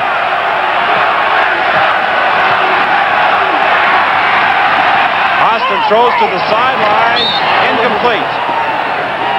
That was a good job of coverage that time by Chris Major. Narcisse went down the field, broke to the sideline, tried to turn upfield on him. Major got right on his inside and stayed with him step for step, and Austin put it up high, and that caused a heck of a collision with Junior Thurman coming over there. There were two defensive backs over with Narcisse. He had been bumped out of bounds, and even had he caught the ball, I'm sure he would have come down out of bounds. Yeah, I really believe Austin's just throwing that ball away. Get it up high, throw it out of bounds, because that was excellent coverage by Major. Dan Wicklum is down again. The second time that he has been down. That's what happens. Oh, excellent job by Vic Stevenson. Mitchell Price comes up, tries to take the inside, and when you have a quarterback that wants to go outside, that's perfect. Vic Stevenson just turfs him, puts him right on his back. Pat Clayton, the Calgary athletic therapist, talking to Dan Wicklum in the first half. He was shaken up down near the goal line as Saskatchewan drove in for a touchdown by Tim McCray. But this time it is not his knee that they are concerned about.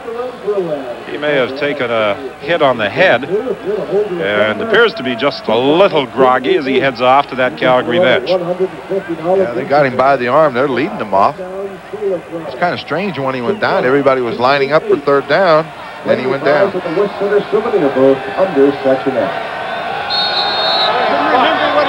Dan Wicklum injured on the play. Well, that's always a problem. And he didn't remember what he was supposed to do on the play. Low snap to Baker. He manages to field it and get the kick away. Kennard Martin on this punt return, wrapped up by Steve Crane and David Albright. Good job of punt coverage. Bad snap. Baker got it on the hop, got a good kick away, got him pinned over in, on the sideline so he doesn't have anywhere to run. Lemons at the three-yard return. That's about as good as you can ask for. 9.50 remains in the third quarter. Stampeders have to get something going offensively quite soon. Well, they haven't shown yet. This is the way we thought it would be, whether they can control the football against Saskatchewan's defense. So far, the Saskatchewan defense has won the battle.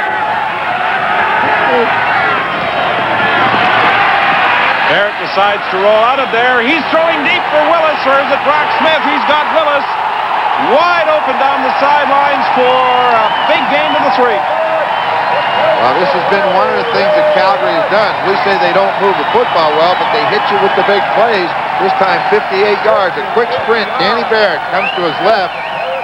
Willis went down, stopped, and then left. And when he took off, when he stopped, Wiggins took his eyes off of him, and Willis took off behind him. A well-thrown football, he's tripped up and down around the three-yard line. Larry Willis has picked up more yards receiving in the last three years than any other player in the CFL. Three receptions today for 111 yards. It's first and goal, Calgary. He said they had to try and score quickly. Kennard Martin will not be able to put it in. Well, the first two guys there, 42 Eddie Lowe, 39 Albright.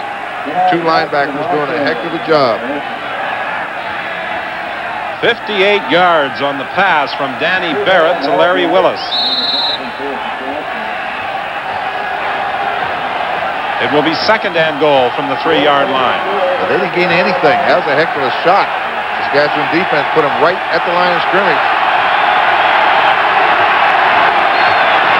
Kennard Martin this time will score.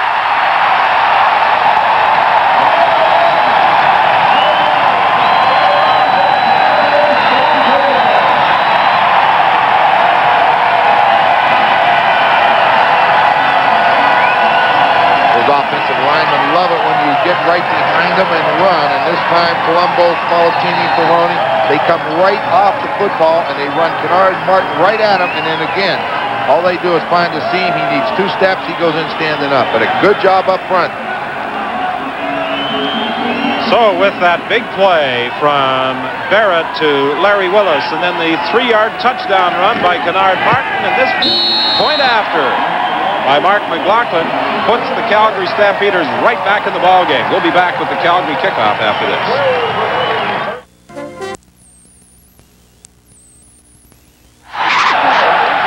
Well, with that touchdown by Kennard Martin, the Stampeders are right back in the ball game, trailing by a converted touchdown. 8-12 remaining in the third quarter. I suggested, Ron, that they had to have something happen quickly. It did. Yeah, and this is the way both coaches saw this football game. They thought it was going to be close right till the end. Tim McCray on the kickoff return. He continues fighting all the way out to the 39-yard line. That was a 25-yard run back after a 62-yard kickoff, and that's where Saskatchewan will scrimmage first and 10. Let's take another look at the touchdown, set up by a 58-yard pass to Larry Willis. Well, that's a good job. You saw Lloyd Fairbanks down on all fours turning to his outside. That means Dan Ferroni, the left guard, drove his man across. So when Kennard Martin starts in behind Spoletini, then he cut right in behind Ferroni, and there was a big hole. It's a good job by that interior of that offensive line. First and 10 from the 39. Austin for Fairholm. There's a penalty flag. It's in the backfield holding against Saskatchewan. Will wipe out the game. Well, you notice how the crowd has come alive. You know, that touchdown gets things going. The defense seems to be a little more excited. Holding, Saskatchewan number 57. First down repeated. Bob Poley, guilty of the holding call. Bob. Big mustache is gone. Yeah, that's kind of unusual. I haven't seen him without it, but here it is. Mitchell Price trying to pass rush outside, get around him. You see that hand up underneath the chin. Flag comes down for holding. Holtcat has shaved off the mustache. This time the pass is complete to Donald Narcisse up at the 45-yard line. It will still be about four yards short of a first down, but Narcisse made an excellent catch in traffic. He sure did. As he came to the inside, he had to come around the linebacker. All Austin does is throws it to the open area, and Narcisse has to go get it. Boy, throw it right in the middle of three of them. That's having confidence in a receiver. When you'll throw it into the middle of three, knowing that that receiver will go in and get it, boy, that really helps the quarterback.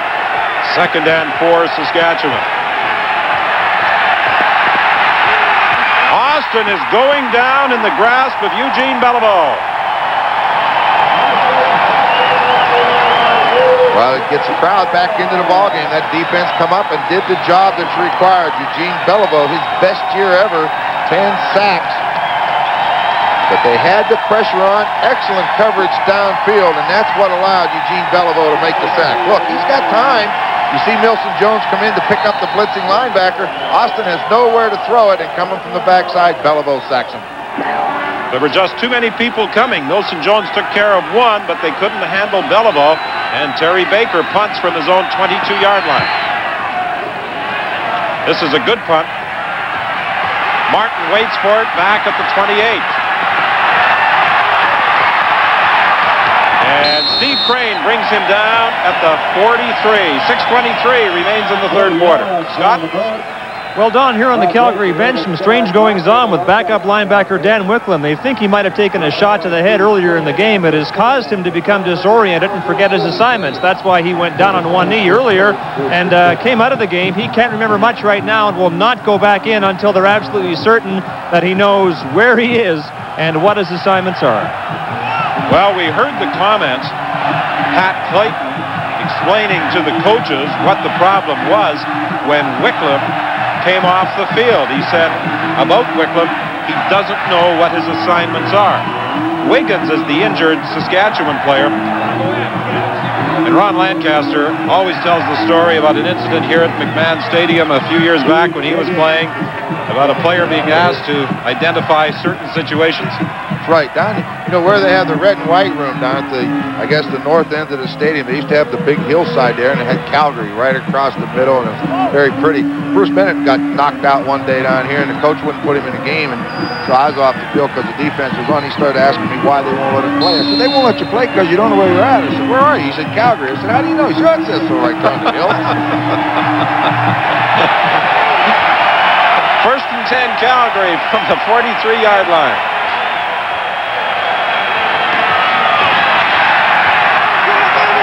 Kennard Martin struggles up to the 50. I've heard that story several times, and you're getting better at telling it each time, too. practice. Like, again, that's Saskatchewan defense. They've got Suitor up on the front line again, showing blitz, but there's Albright.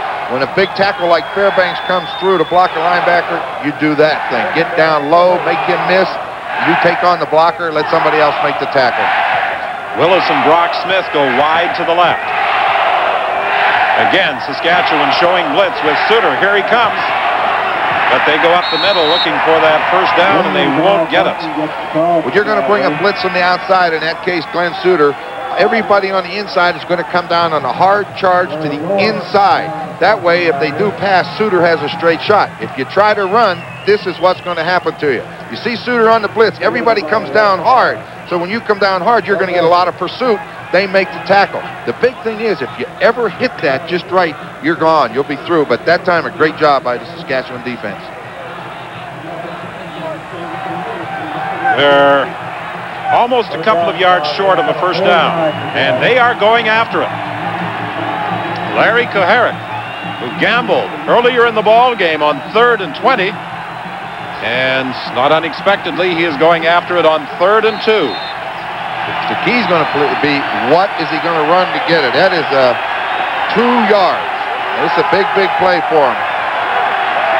It's definitely more than one. Kennard Martin has got it.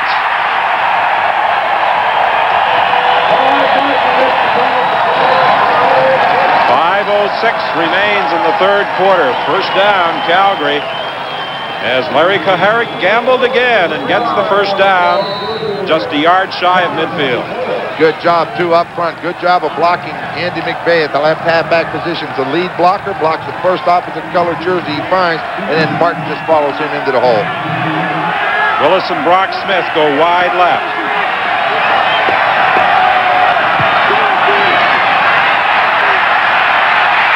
Barrett gets away, decides to run with the ball. He was indicating to Mark Zeno to head downfield, and Zeno started to come back to the quarterback. What he wanted to do is if Zeno runs downfield, the defender has to go with him, and, and he can just run down the sideline and follow him. But the pursuit of the defensive front is what made Barrett go out of bounds. You'll see Barrett as he heads to the sidelines, motion to Zeno with his hand, get downfield. And you don't notice too many times Bobby Jurasin lets you escape. And he motions him downfield, he just couldn't outrun Glen Suitor. If he gets by Suitor, he just follow him all the way down the field. Second and two, Calgary.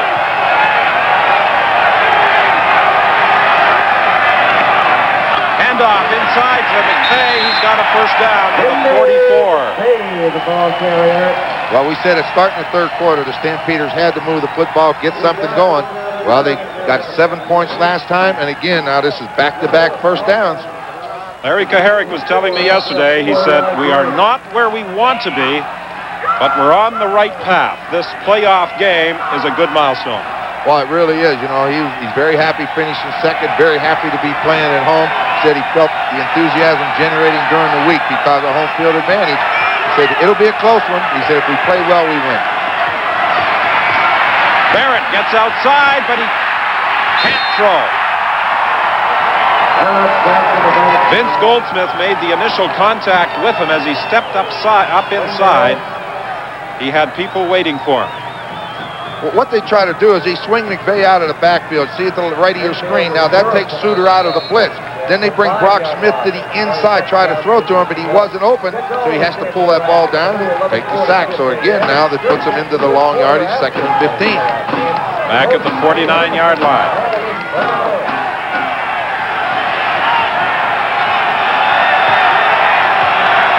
Ben again right up at the line of scrimmage. A procedure call, however, against Calgary. Saskatchewan undoubtedly will accept the penalty, making it second and 20. That time they pulled the quarterback. Time count violation, Calgary number eight, second down repeated.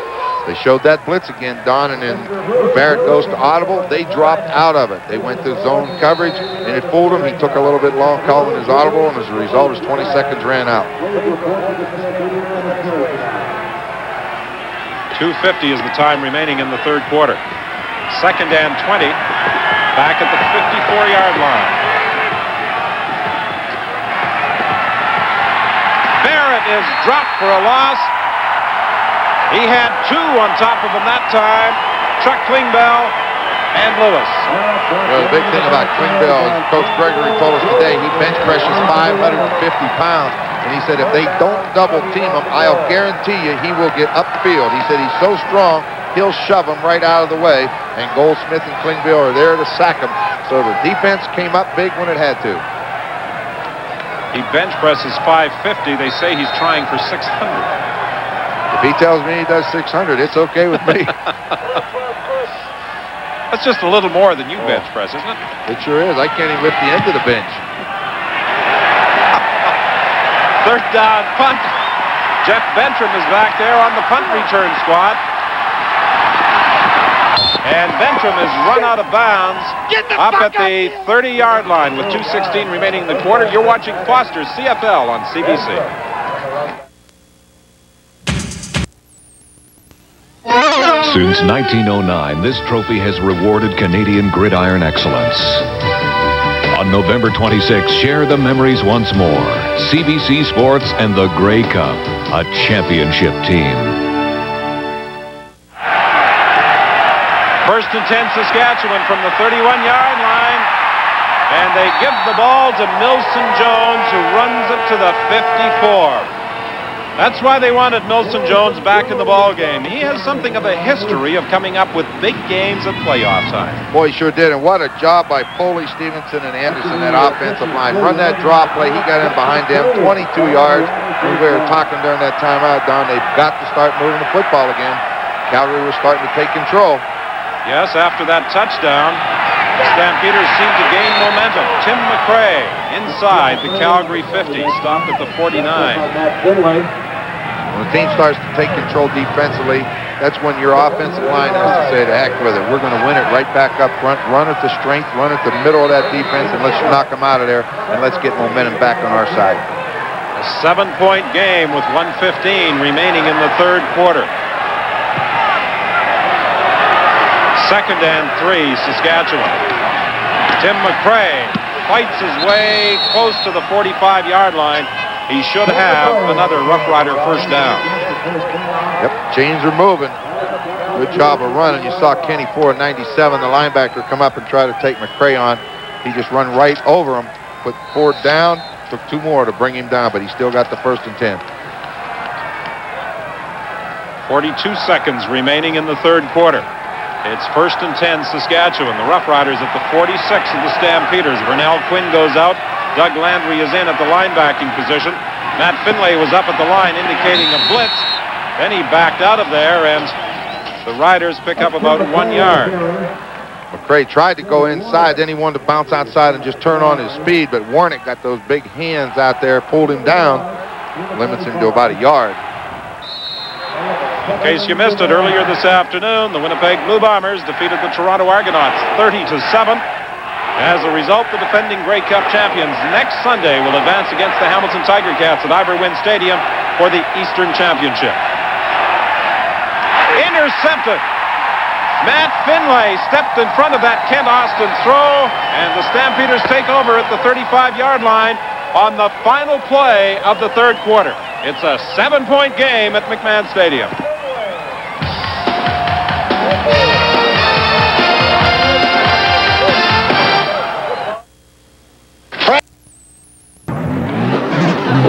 Matt Finlay with what could be a very timely interception for the Calgary Stampeders.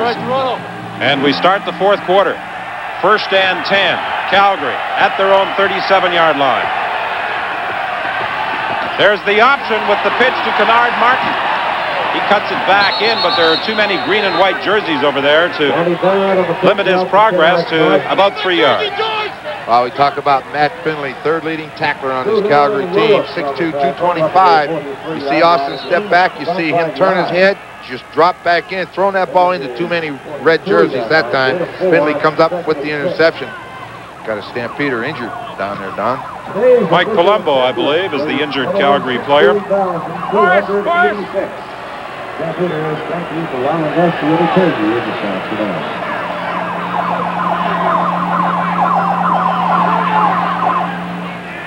Through three quarters of play, statistically, this is the way the two teams shape up. Both sides have turned it over four times. No, Stampeders made a little bit of a comeback. You look at the yards passing, back there five yards ahead, but they'd like to get that rushing game going. They came out and ran that option right away to try to get it going, but no success. So Danny Barrett's faced second and long. He's got to convert it again. Have you ever wondered what it's like to stand at midfield at the Sky Dome? Well, during Grey Cup week, you can get that opportunity. The 1989 Grey Cup kickoff luncheon will be held on November 22nd, 12 noon, on the field at the Sky Dome. Tickets are $25 each. They're available by phoning 869-3759 in Toronto. Proceeds will go to support Big Brothers of Metropolitan Toronto. That's the 1989 Grey Cup kickoff luncheon on November 22nd, 12 noon, on the field at the Sky Dome. Craig Watson goes into the ball game to replace Mike Palumbo. Not a good sign. Wasn't able to walk off the field. That center, you know, that center very important part of that offensive line, right in the middle. Usually the guy pulls everything together, so that moves Spoletini to center, and Craig Watson goes in at guard. Spoletini, Palumbo, and Ferrone. Three members of that offensive line of Italian ancestry. They usually get together before home games and uh, have a big feed of pasta. To Andy McVeigh. He won't get the first down. Stopped at the 45-yard line and driven back. They try to run that trap again. Send that back in motion. Kennard Martin out to the sidelines. Try to get a linebacker to go with him and get McVeigh inside, but no chance. Never had a chance. Stampeders, interestingly, uh, interestingly enough, did not remain in Calgary last night. They took the team up to Kananaskis, a resort just outside of Calgary. A bit of team togetherness to get them ready for this playoff encounter. Good kick that bounces out of bounds deep in Saskatchewan territory at the 20-yard line. Well, the big story this week, of course, has been from East Germany and coming up later this evening at 11 p.m. local time, Peter Mansbridge will host a special edition of Sunday Report direct from the Berlin Wall. Be sure to stay tuned for this special CBC Sunday Report.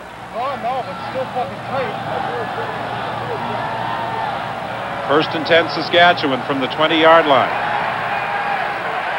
Tim McCray wrapped up by Howard Fields as soon as he caught the football. A gain of about one yard. Howard Fields just sat back, sat back, sat back, and knew Austin had to throw it to McCray. As soon as he cocked the arm to let it go, Fields was there. What's he get? Two yards. That's good defense. Give these Calgary Stampeders credit. At halftime, I think there were a lot of people ready to write them off. They have fought back. They trail by a converted touchdown. Difference is Saskatchewan hasn't been able to move the ball. The defense came to life for the Stampeders.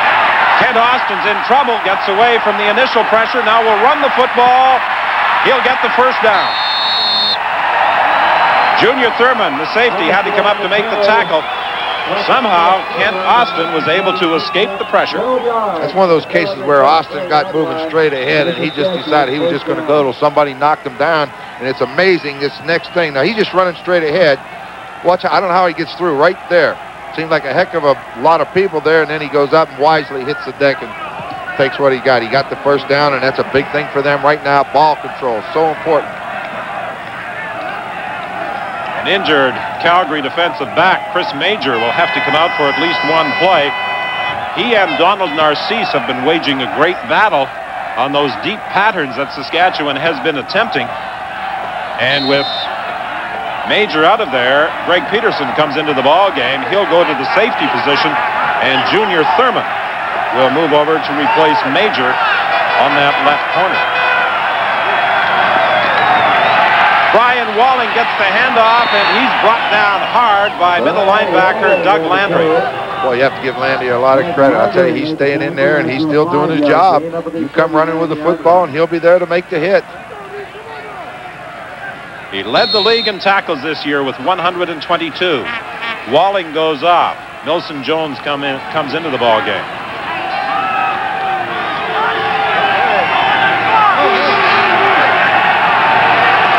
Eleven fifty-six is the time remaining. Here's the blitz from the backside. David McQuarrie, and I think that may have drawn a penalty flag, a late penalty flag. It appeared as though he was across that line of scrimmage before the ball was snapped. Let's I see. sure was. He lines up. You line up wide, and then as you get closer to the snap, you start sneaking in and try to time it to hit it just as that ball snapped. He just got a little bit too much of a start. Took a while for the official. Calgary number three, first down. To throw the flag on McCrary. The play had already been stopped before that flag finally came flying out. Chris Major back in the ball game. He missed eight games this year with an ankle injury. What I was concerned with, watch the top of the screen. There he comes, and you can see he's clearly offside. But what he's trying to do is hit that line of scrimmage the minute the ball snaps there at the right time, and then he gets a good jump. Penalty gives Saskatchewan the first down. Price is after Austin. Finally catches him. Good job by Howard Fields. They try to hit Tim McCray swinging out of the backfield, and Fields was there. That forced Austin to pull it down, and then they all get after him. 11-18 remains in the game. 23-16. Saskatchewan leads Calgary. Second and seven. James Ellingson wide left. Donald Narcisse comes out to the right. He's lined up against Major. Austin dumps it off over the middle, and Matt Finlay is there to make the stop on Tim McCray. Give Matt every time. Second down and eight. McCray gets one yard. Finlay gets McCray, and now they have to punt the football. Third down, five yards to go. The play of Matt Finlay at that outside linebacking position was one of the reasons that the Stampeders were able to go to those five import defensive backs. You know, he's been hanging around. You know, when he came out of college out of Eastern Michigan, they said he might have had a knee problem. He wasn't able to get on track. But I tell you, at 225 pounds, he's got good size, and he's starting to play very well. And that's why Kuharich did that, Don. He's really happy with Matt Finlay. Third down kick. Darcy Kopp runs it back to the 37-yard line. 10:28 is the time remaining. This is Foster's CFL on CBC.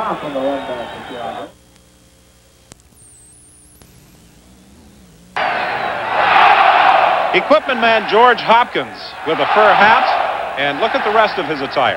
He's wearing shorts. his elevator's going to the top floor, but there's nobody home. I'm Not sure about that. That's strange cargo.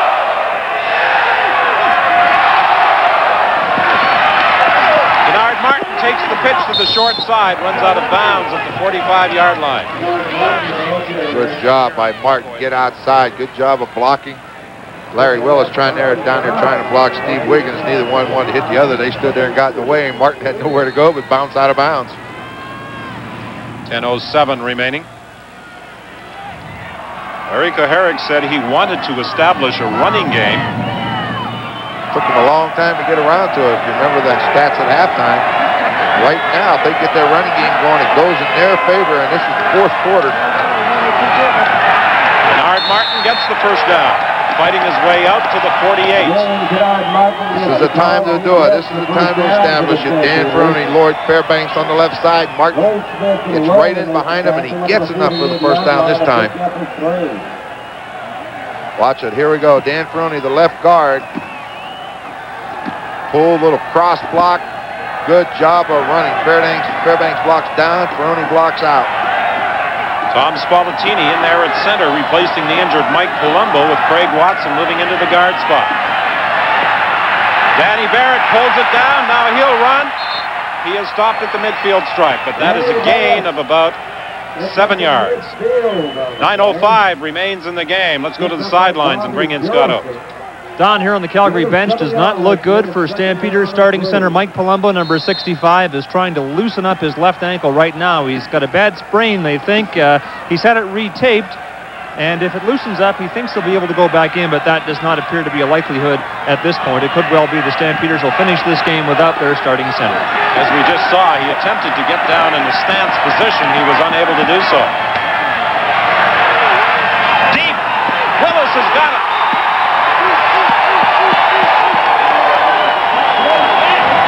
Teams they lull you to sleep a little bit, don't they? You know, they, they mess around and run, they mess around and Danny Barrett runs, and then all of a sudden, bang, Willis comes up with the big play.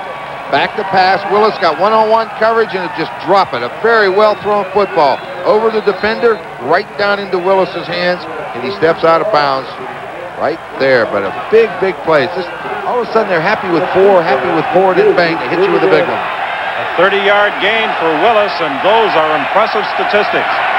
141 yards and four receptions. First and 10 from the 25-yard line, Calgary. This one deep into the end zone, and Marshall Toner could not catch up with it. Barrett had to release oh. that one quickly. He saw it coming. He saw the blitz coming from the, his right side, and if you can see it, you know to get rid of it. All he does is take the chance, throw it far. That way, if your man doesn't get it, no one does it. Good job by Mark. He flips Goldsmith, but if you saw, there was another white jersey coming outside, so Danny Barrett knew he didn't have time. Eight minutes remaining in the game. 23-16, Saskatchewan leads Calgary. It's second and 10. The Stampeders at the Saskatchewan 25-yard line. Three receivers to the right. Barrett dumps it off over the middle, intended for Martin, incomplete. Linebacker Dan Rashovich had dropped back with Kennard Martin and was able to make the play. It, again, once again, they've done it all day. Put, put Glen Suitor up on the line of scrimmage. Come on a blitz. When you do that, if your running back, in this case, Kennard Martin, gets one-on-one coverage with a linebacker, just try to dump it to him. They're really upset. They felt Rashovich had interfered with number 28, Martin. I don't know. I We'll get a good look at it here on the replay, but I'm not so sure. I thought it was pretty good defense. He just throws it out in front of him. Mark McLoughlin will attempt a field goal from the 32-yard line with 7.28 remaining in the game. Kick is good. So four points separate the Rough Riders and the Stampeders with 7.24 left.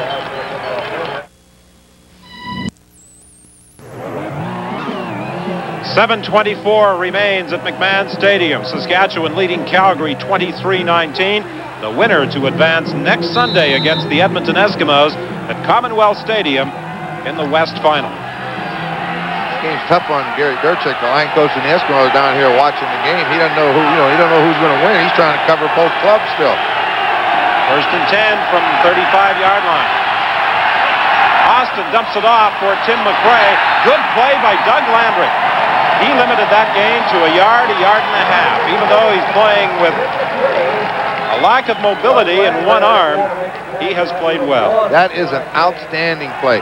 Austin had a lot of time, and then he leaks out underneath, and out of nowhere, Landry had dropped back five or six yards, but when he saw McCray drift out, he took off, and he arrived up there to limit it to one yard. That is good defense. Second and nine, Mitchell Price was in pursuit of the quarterback. He managed to throw it for Jeff Fairholm incomplete. With a little bit of pressure on Austin, causing him to move around, not allowing him to stay set, get those feet set, and throw the ball. Howard Fields makes a big, big play on Fairholm. 6.31 remaining in the game. Calgary will get the ball back. Wherever you're looking in this afternoon on the CBC television network, we hope you're enjoying the action from McMahon Stadium and that you'll be with us next Sunday afternoon from Ivor Wynne Stadium in Hamilton when we bring you the Eastern Final between the Winnipeg Blue Bombers, 30 to 7 winners this afternoon over Toronto, and the Hamilton Tiger Cats. And of course, in two weeks' time for the Grey Cup game from the Skydome in Toronto. This return, Kennard Martin gets outside and then runs out of bounds. They'll be scrimmaging from the 43 with 6.05 left. This is Foster's CFL on CBC.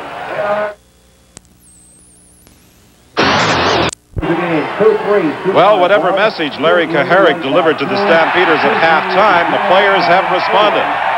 John Gregory must now be wondering if his Rough Riders can hang on to that four-point lead with six minutes remaining here at McMahon Stadium. First and 10, Calgary. The ball is at the 44-yard line of the Stampeders.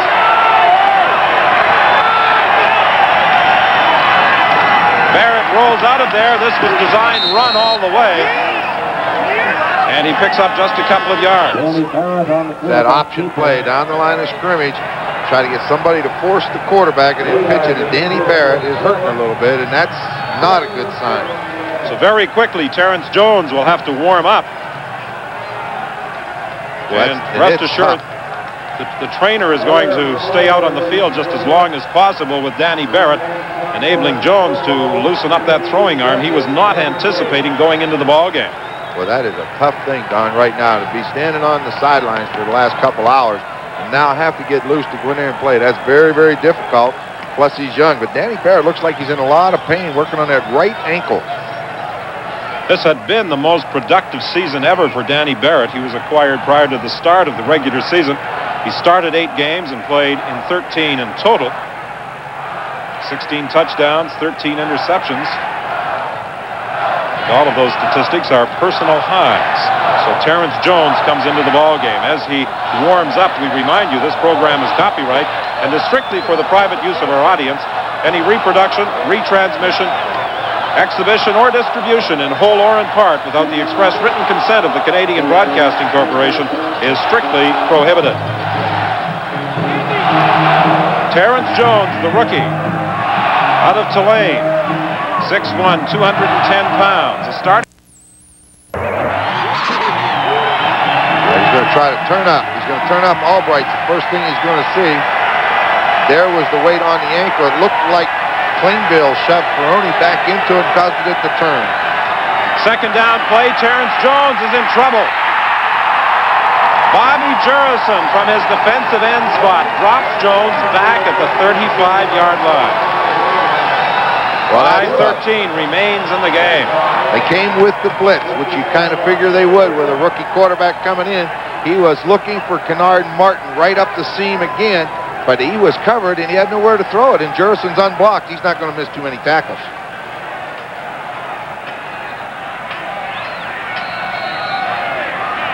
Larry Herrick commiserating with Terrence Jones and indicating what he wants him to do on the next series. Richie Hall fields the third down punt at the 40-yard line.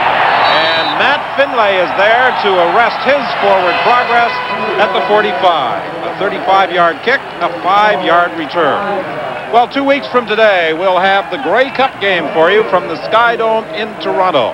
Our CBC Grey Cup coverage of this 77th edition of the National Classic gets underway at 4 o'clock Eastern Time, and Grey Cup game coverage begins at 5.30. So plan on spending your Grey Cup Sunday with CBC Television. All of our production and technical personnel will be there to bring you the excitement of the 1989 Grey Cup game. Tim McCray coming out of the backfield takes the pass up to the 49-yard line. A little bit of zone defense now. Drop him back, force him, throw it underneath.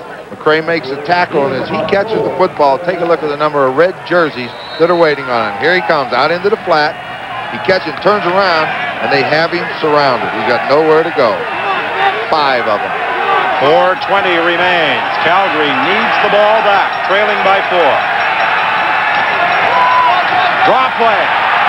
Milson Jones to the midfield stripe. There's a penalty flag. He'll be very close to a first down.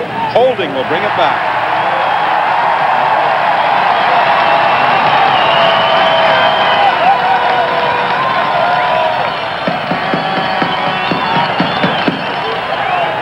Referee Ross Perrier will march off the yardage against the Saskatchewan Roughriders. Holding Saskatchewan number 64, second down repeated. And while he marches it off, let's bring in Scott Scotto.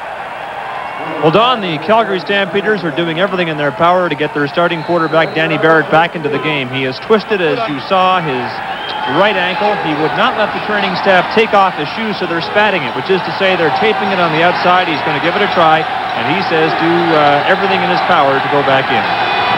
Ken Moore guilty of that holding call. Second and 16. Kent Austin throwing for Jeff Fairholm. He's caught by Howard Field short of the first down. Calgary will get the ball back. More than happy to give up that completion if you're the Calgary Stampeders. Austin sprinted to his left, threw it back across the field. Howard Fields had perfect coverage. Make the catch, make the tackle. They have to punt the ball. 339 remains. Will Johnson is the injured Calgary Stampeder. He was in pursuit of Kent Austin, and he was really deep in that Saskatchewan backfield, and he is down at the 20-yard line. This game has taken its toll on both sides of the field, but there have been more Calgary Stampeders going down than Saskatchewan Roughriders. Barrett is up, testing that ankle. He's going to try and get back in there. They, they have to have him back in there. I don't, I don't like the chances. I mean, I think Terrence Jones is going to be a good quarterback and having a lot of potential. But when the things are on the line and you're down to the last three minutes of a football game, I want the, the veteran in there.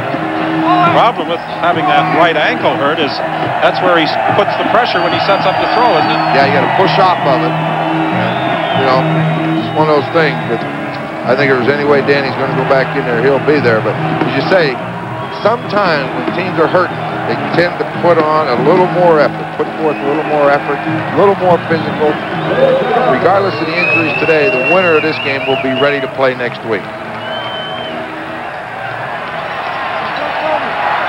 Darcy Kopp now drops back to join Kennard Martin for this third down kick by Terry Baker. 3.23 is the time remaining. Not a good kick off the side of his foot. And it bounces back towards the line of scrimmage. Is picked up by Darcy Kopp. And he returns it to the 50-yard line. Well, that was a good effort by Darcy Kopp. Lousy kick. It only hit about 10 yards. Pass, 25-yard kick, 11-yard return. Pretty good field position with three minutes left for the Stampeders to do it. 3.08 is the time remaining. And Danny Barrett obviously was having too many problems trying to push off that right ankle. Terrence Jones is going to stay in there as the Calgary quarterback. Marshall Toner makes the catch down to the 35-yard line. Oh, nice throw. Toner upfield about eight yards and slant to the inside right on the money. And Marshall Toner is injured on the play. Marshall Toner separated his shoulder last week in that final game of the season, a loss to the BC Lions. He made a catch for 24 yards on the throw from Terrence Jones, landed heavily on that shoulder. He's gone off to the Calgary bench. Jacques Chapdelaine has taken his spot. It's first and 10 Calgary at the Saskatchewan 36-yard line. 2.43 with the clock running. The time remaining here at McMahon Stadium. Terrence Jones throwing deep for Willis. Incomplete. Steve Wiggins was covering Willis, who has made four catches today for 141 yards. Well, again, they come with the all-out blitz. Glen Suitor coming on a safety blitz, one-on-one coverage, Wiggins and Willis. So what, just what happens. Boy, he's giving him a lot of cushion, just going to try to outrun him. Jones couldn't get it far enough downfield. Come with that blitz again, break him to the post. He's going to score. Marshall Toner back into the ball game. Jacques Chapdelaine to the bench. Second and 10. 2.34 is the time remaining. The ball at the 36. Terrence Jones looks downfield. Throws deep for Zeno. He's got it. No.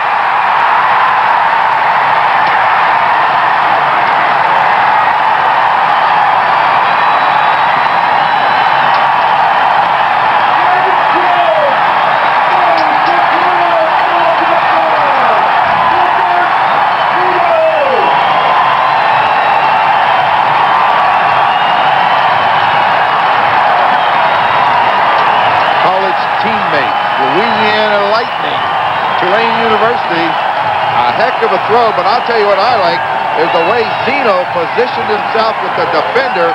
When we see it on a replay, he stepped in front of the defender and he used that six foot three inch height of his and went up and got it in the air. That's an excellent reception.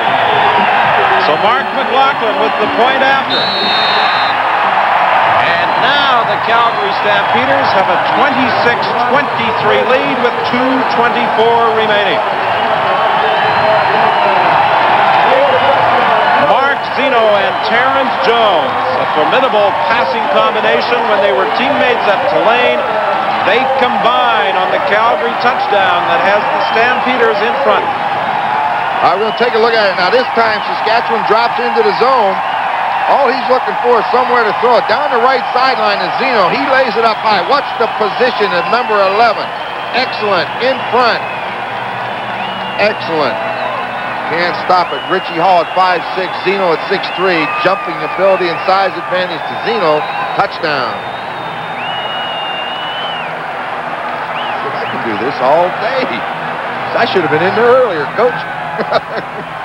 you know, the question now, Don, is they, did they score too soon? There's a lot of time on the clock. Coach Guerrero very happy. He's got to be impressed with the play of Jones. Two key completions Jones made in that drive for the touchdown. 2.24 is the time remaining.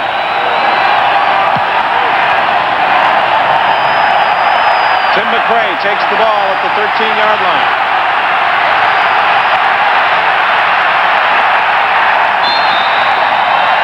Vernell Quinn brings McCray down after a run back of 19 yards. Two minutes, 16 seconds, a lot of time. Ken Austin knows how to use the clock. He'd love to have the touchdown to win it, but I'll tell you what, Dave Ridgway is not a bad guy to call on when you need three. So if we look at Ridgway, we're going to need about 35, 40 yards. And two minutes to do it in. He's got the time.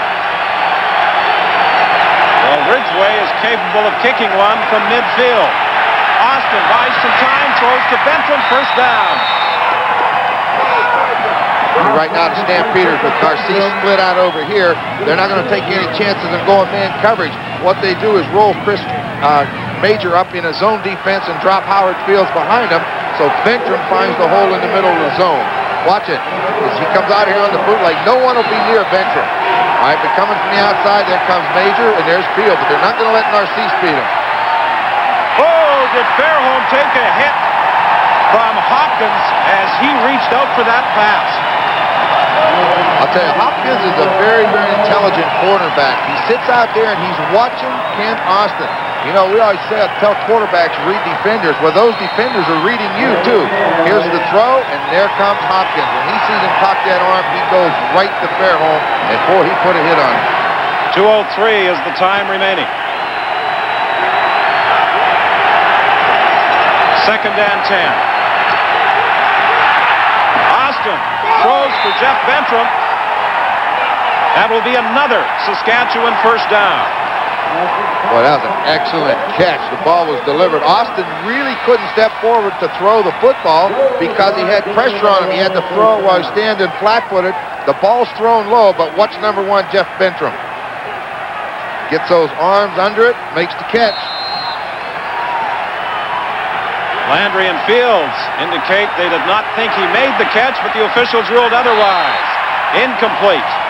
It was intended for Ellingson, and he had Chris Major with him.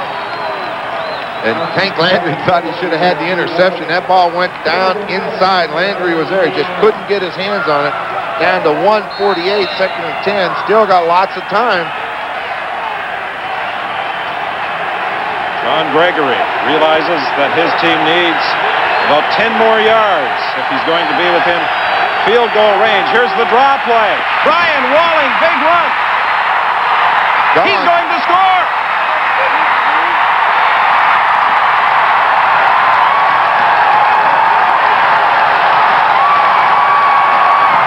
A 50-yard gallop by Brian Walling. Oh, yeah.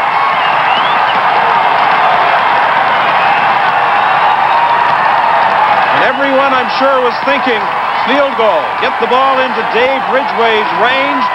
Brian Walling takes off on a 50-yard gallop, and he scores the touchdown that has restored the Saskatchewan lead. 29-26, 138 the time remaining. There's still a lot of time on that clock. I'll tell you, 138, plenty of time to do things. Brian Walling, 5'8", 190, hit up the middle, turned to the outside. Two Calgary Stampeders collided downfield, and it was over. He went in with no problem. David Ridgway with the point after. Suitor holds. There's the kick. And the Riders again have a four-point lead. Just a couple of weeks ago, Brian Walling was not even on the Saskatchewan roster. He was on the Edmonton Eskimo practice roster. The Riders had injury problems. They grabbed both he and Slater Zaleski to fill holes. And what a job Walling does running 50 yards with a block from James Ellingson for the go-ahead touchdown.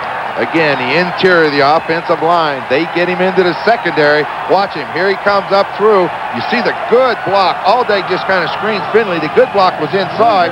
Ellingson hits Major, knocks him into Thurman, and Walling is gone. That's an outstanding run. I think he might be looking forward to playing the Eskimos again. You know, he just left there a few, few weeks ago. Well, John Gregory last week in Edmonton for the final game of the season said, we owe a lot of thanks to the Eskimos for providing us with a couple of players when we were really strapped, when we had injuries taking a toll, and we were missing people at a running back position with Milson Jones out and at a receiver position with Fairholm and Bresciani out, and we were able to get Walling and Zaleski. I don't think at the time he anticipated that Walling might emerge as a playoff hero. The ball is loose, and it's knocked out of bounds by Darcy Kopp. Or was it, it was tapped out here. of bounds earlier? Yeah, it's out of bounds here when the Calgary Stampeder player touched it. He was laying out of bounds when he grabbed it. So the ball's coming back here, and they're going to have a minute and a half to work. Their problem, though, they need a touchdown now. Three points doesn't do them any good. From the reverse angle, we may see, I believe it's Kennard Martin trying to handle that football. See, there's the ball going to the sidelines. It hits him as he slipped. Now he's out of bounds. Tries just to reach in and touch it. He's out of bounds. And it's going to be knocked down anyway, but big play. Andy McVeigh up to the 37-yard line. What a finish to this Western semifinal. 30-26 is the score. 127 the time remaining. It's first like and this, 10 huh? Calgary. Gotta like this kind of play. Get it going. Let's go. 14 yards on the picture. Terrence Jones at quarterback. He was looking for Zeno. Take your time. He take his time. Dump the ball. McCray or uh, McVeigh again. He came right inside, came open. Minute and 21 seconds. You still got a lot of time. The key is to hit the passes. Hit the short ones. If they give you the deep one, take it. But they're not going to give them to you. You're going to have to work it down the field, and you need a touchdown. Yes, they have to put it in the end zone as they trail by four. 121 the time remaining. Second and 10. The ball is at the 37-yard line.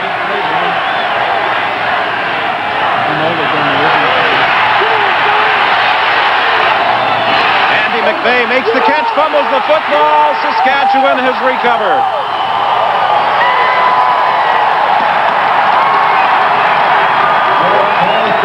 And that earlier joy of the Calgary Stampeders turns to anguish with 112 left to play.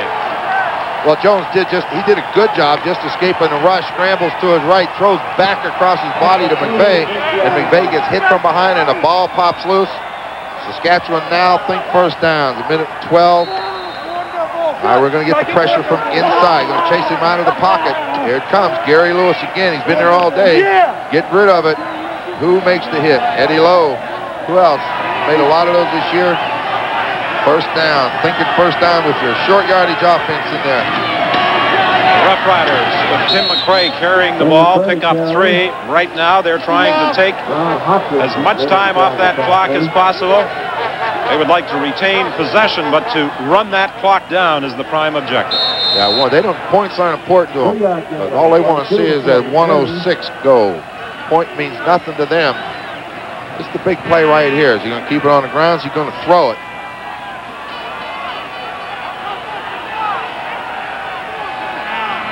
Short yardage offense is in there. They're going to give it to Tim McCray. He's going to get a first down, and that should be the ball game. Even though he was forced out of bounds, he was forced out of bounds after he got the first down. So they got three more shots, 46 seconds left. They should be able to do it now.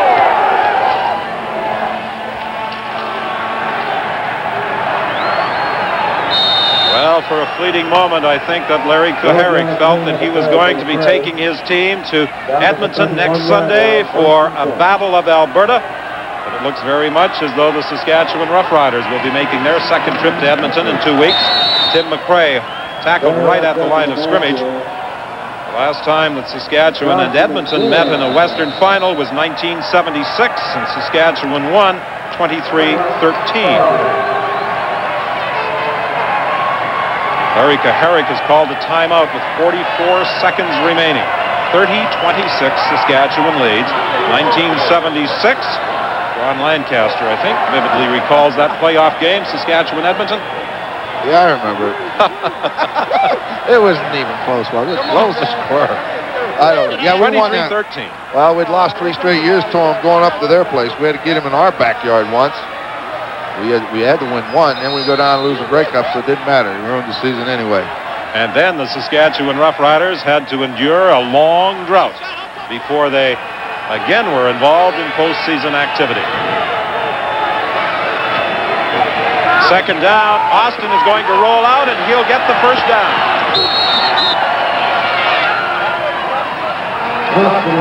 38 seconds remaining. 38 seconds. Third down, four.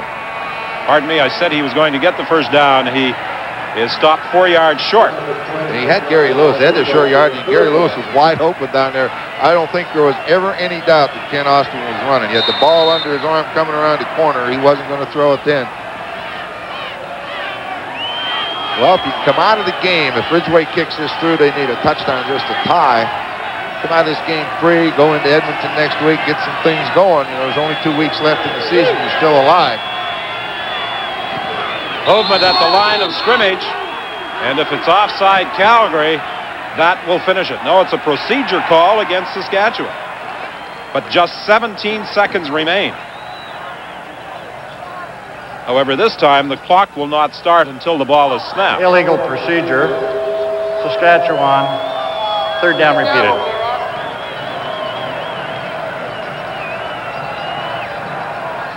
Vic Stevenson is the injured Saskatchewan player. Lines up at that offensive tackle position.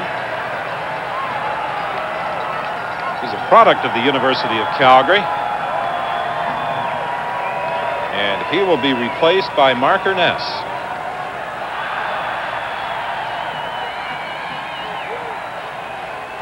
So that takes the ball back to the 31-yard line, 17 seconds remaining. Herrick shouting instructions. I'm not quite sure what he wants them to do. I think you want to try to block it. Here they come. There's the kick by Ridgway. It's good.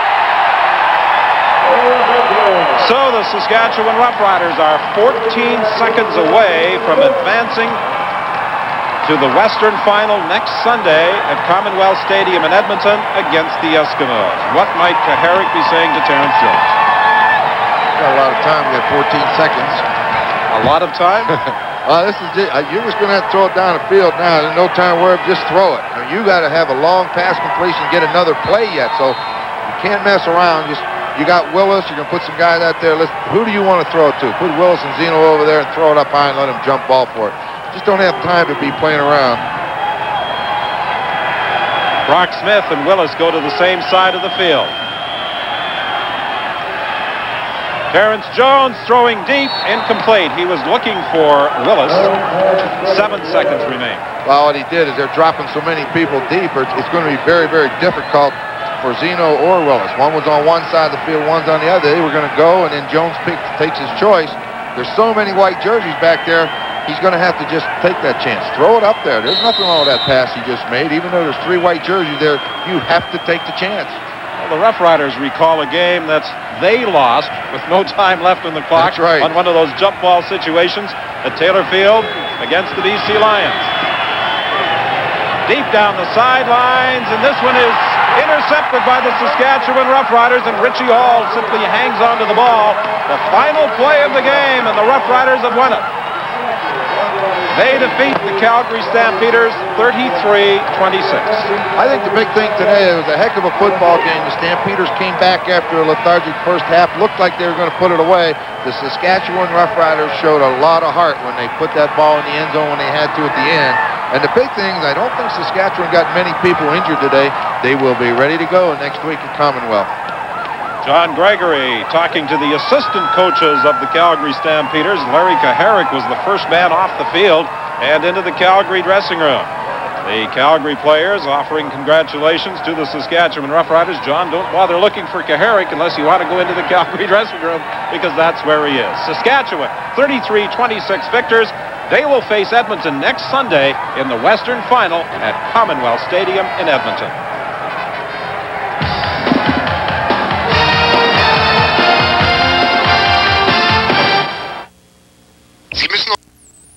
Tim McCray. The Riders win their first playoff game in a dozen years to advance to the West Final against the Eskimos next Sunday.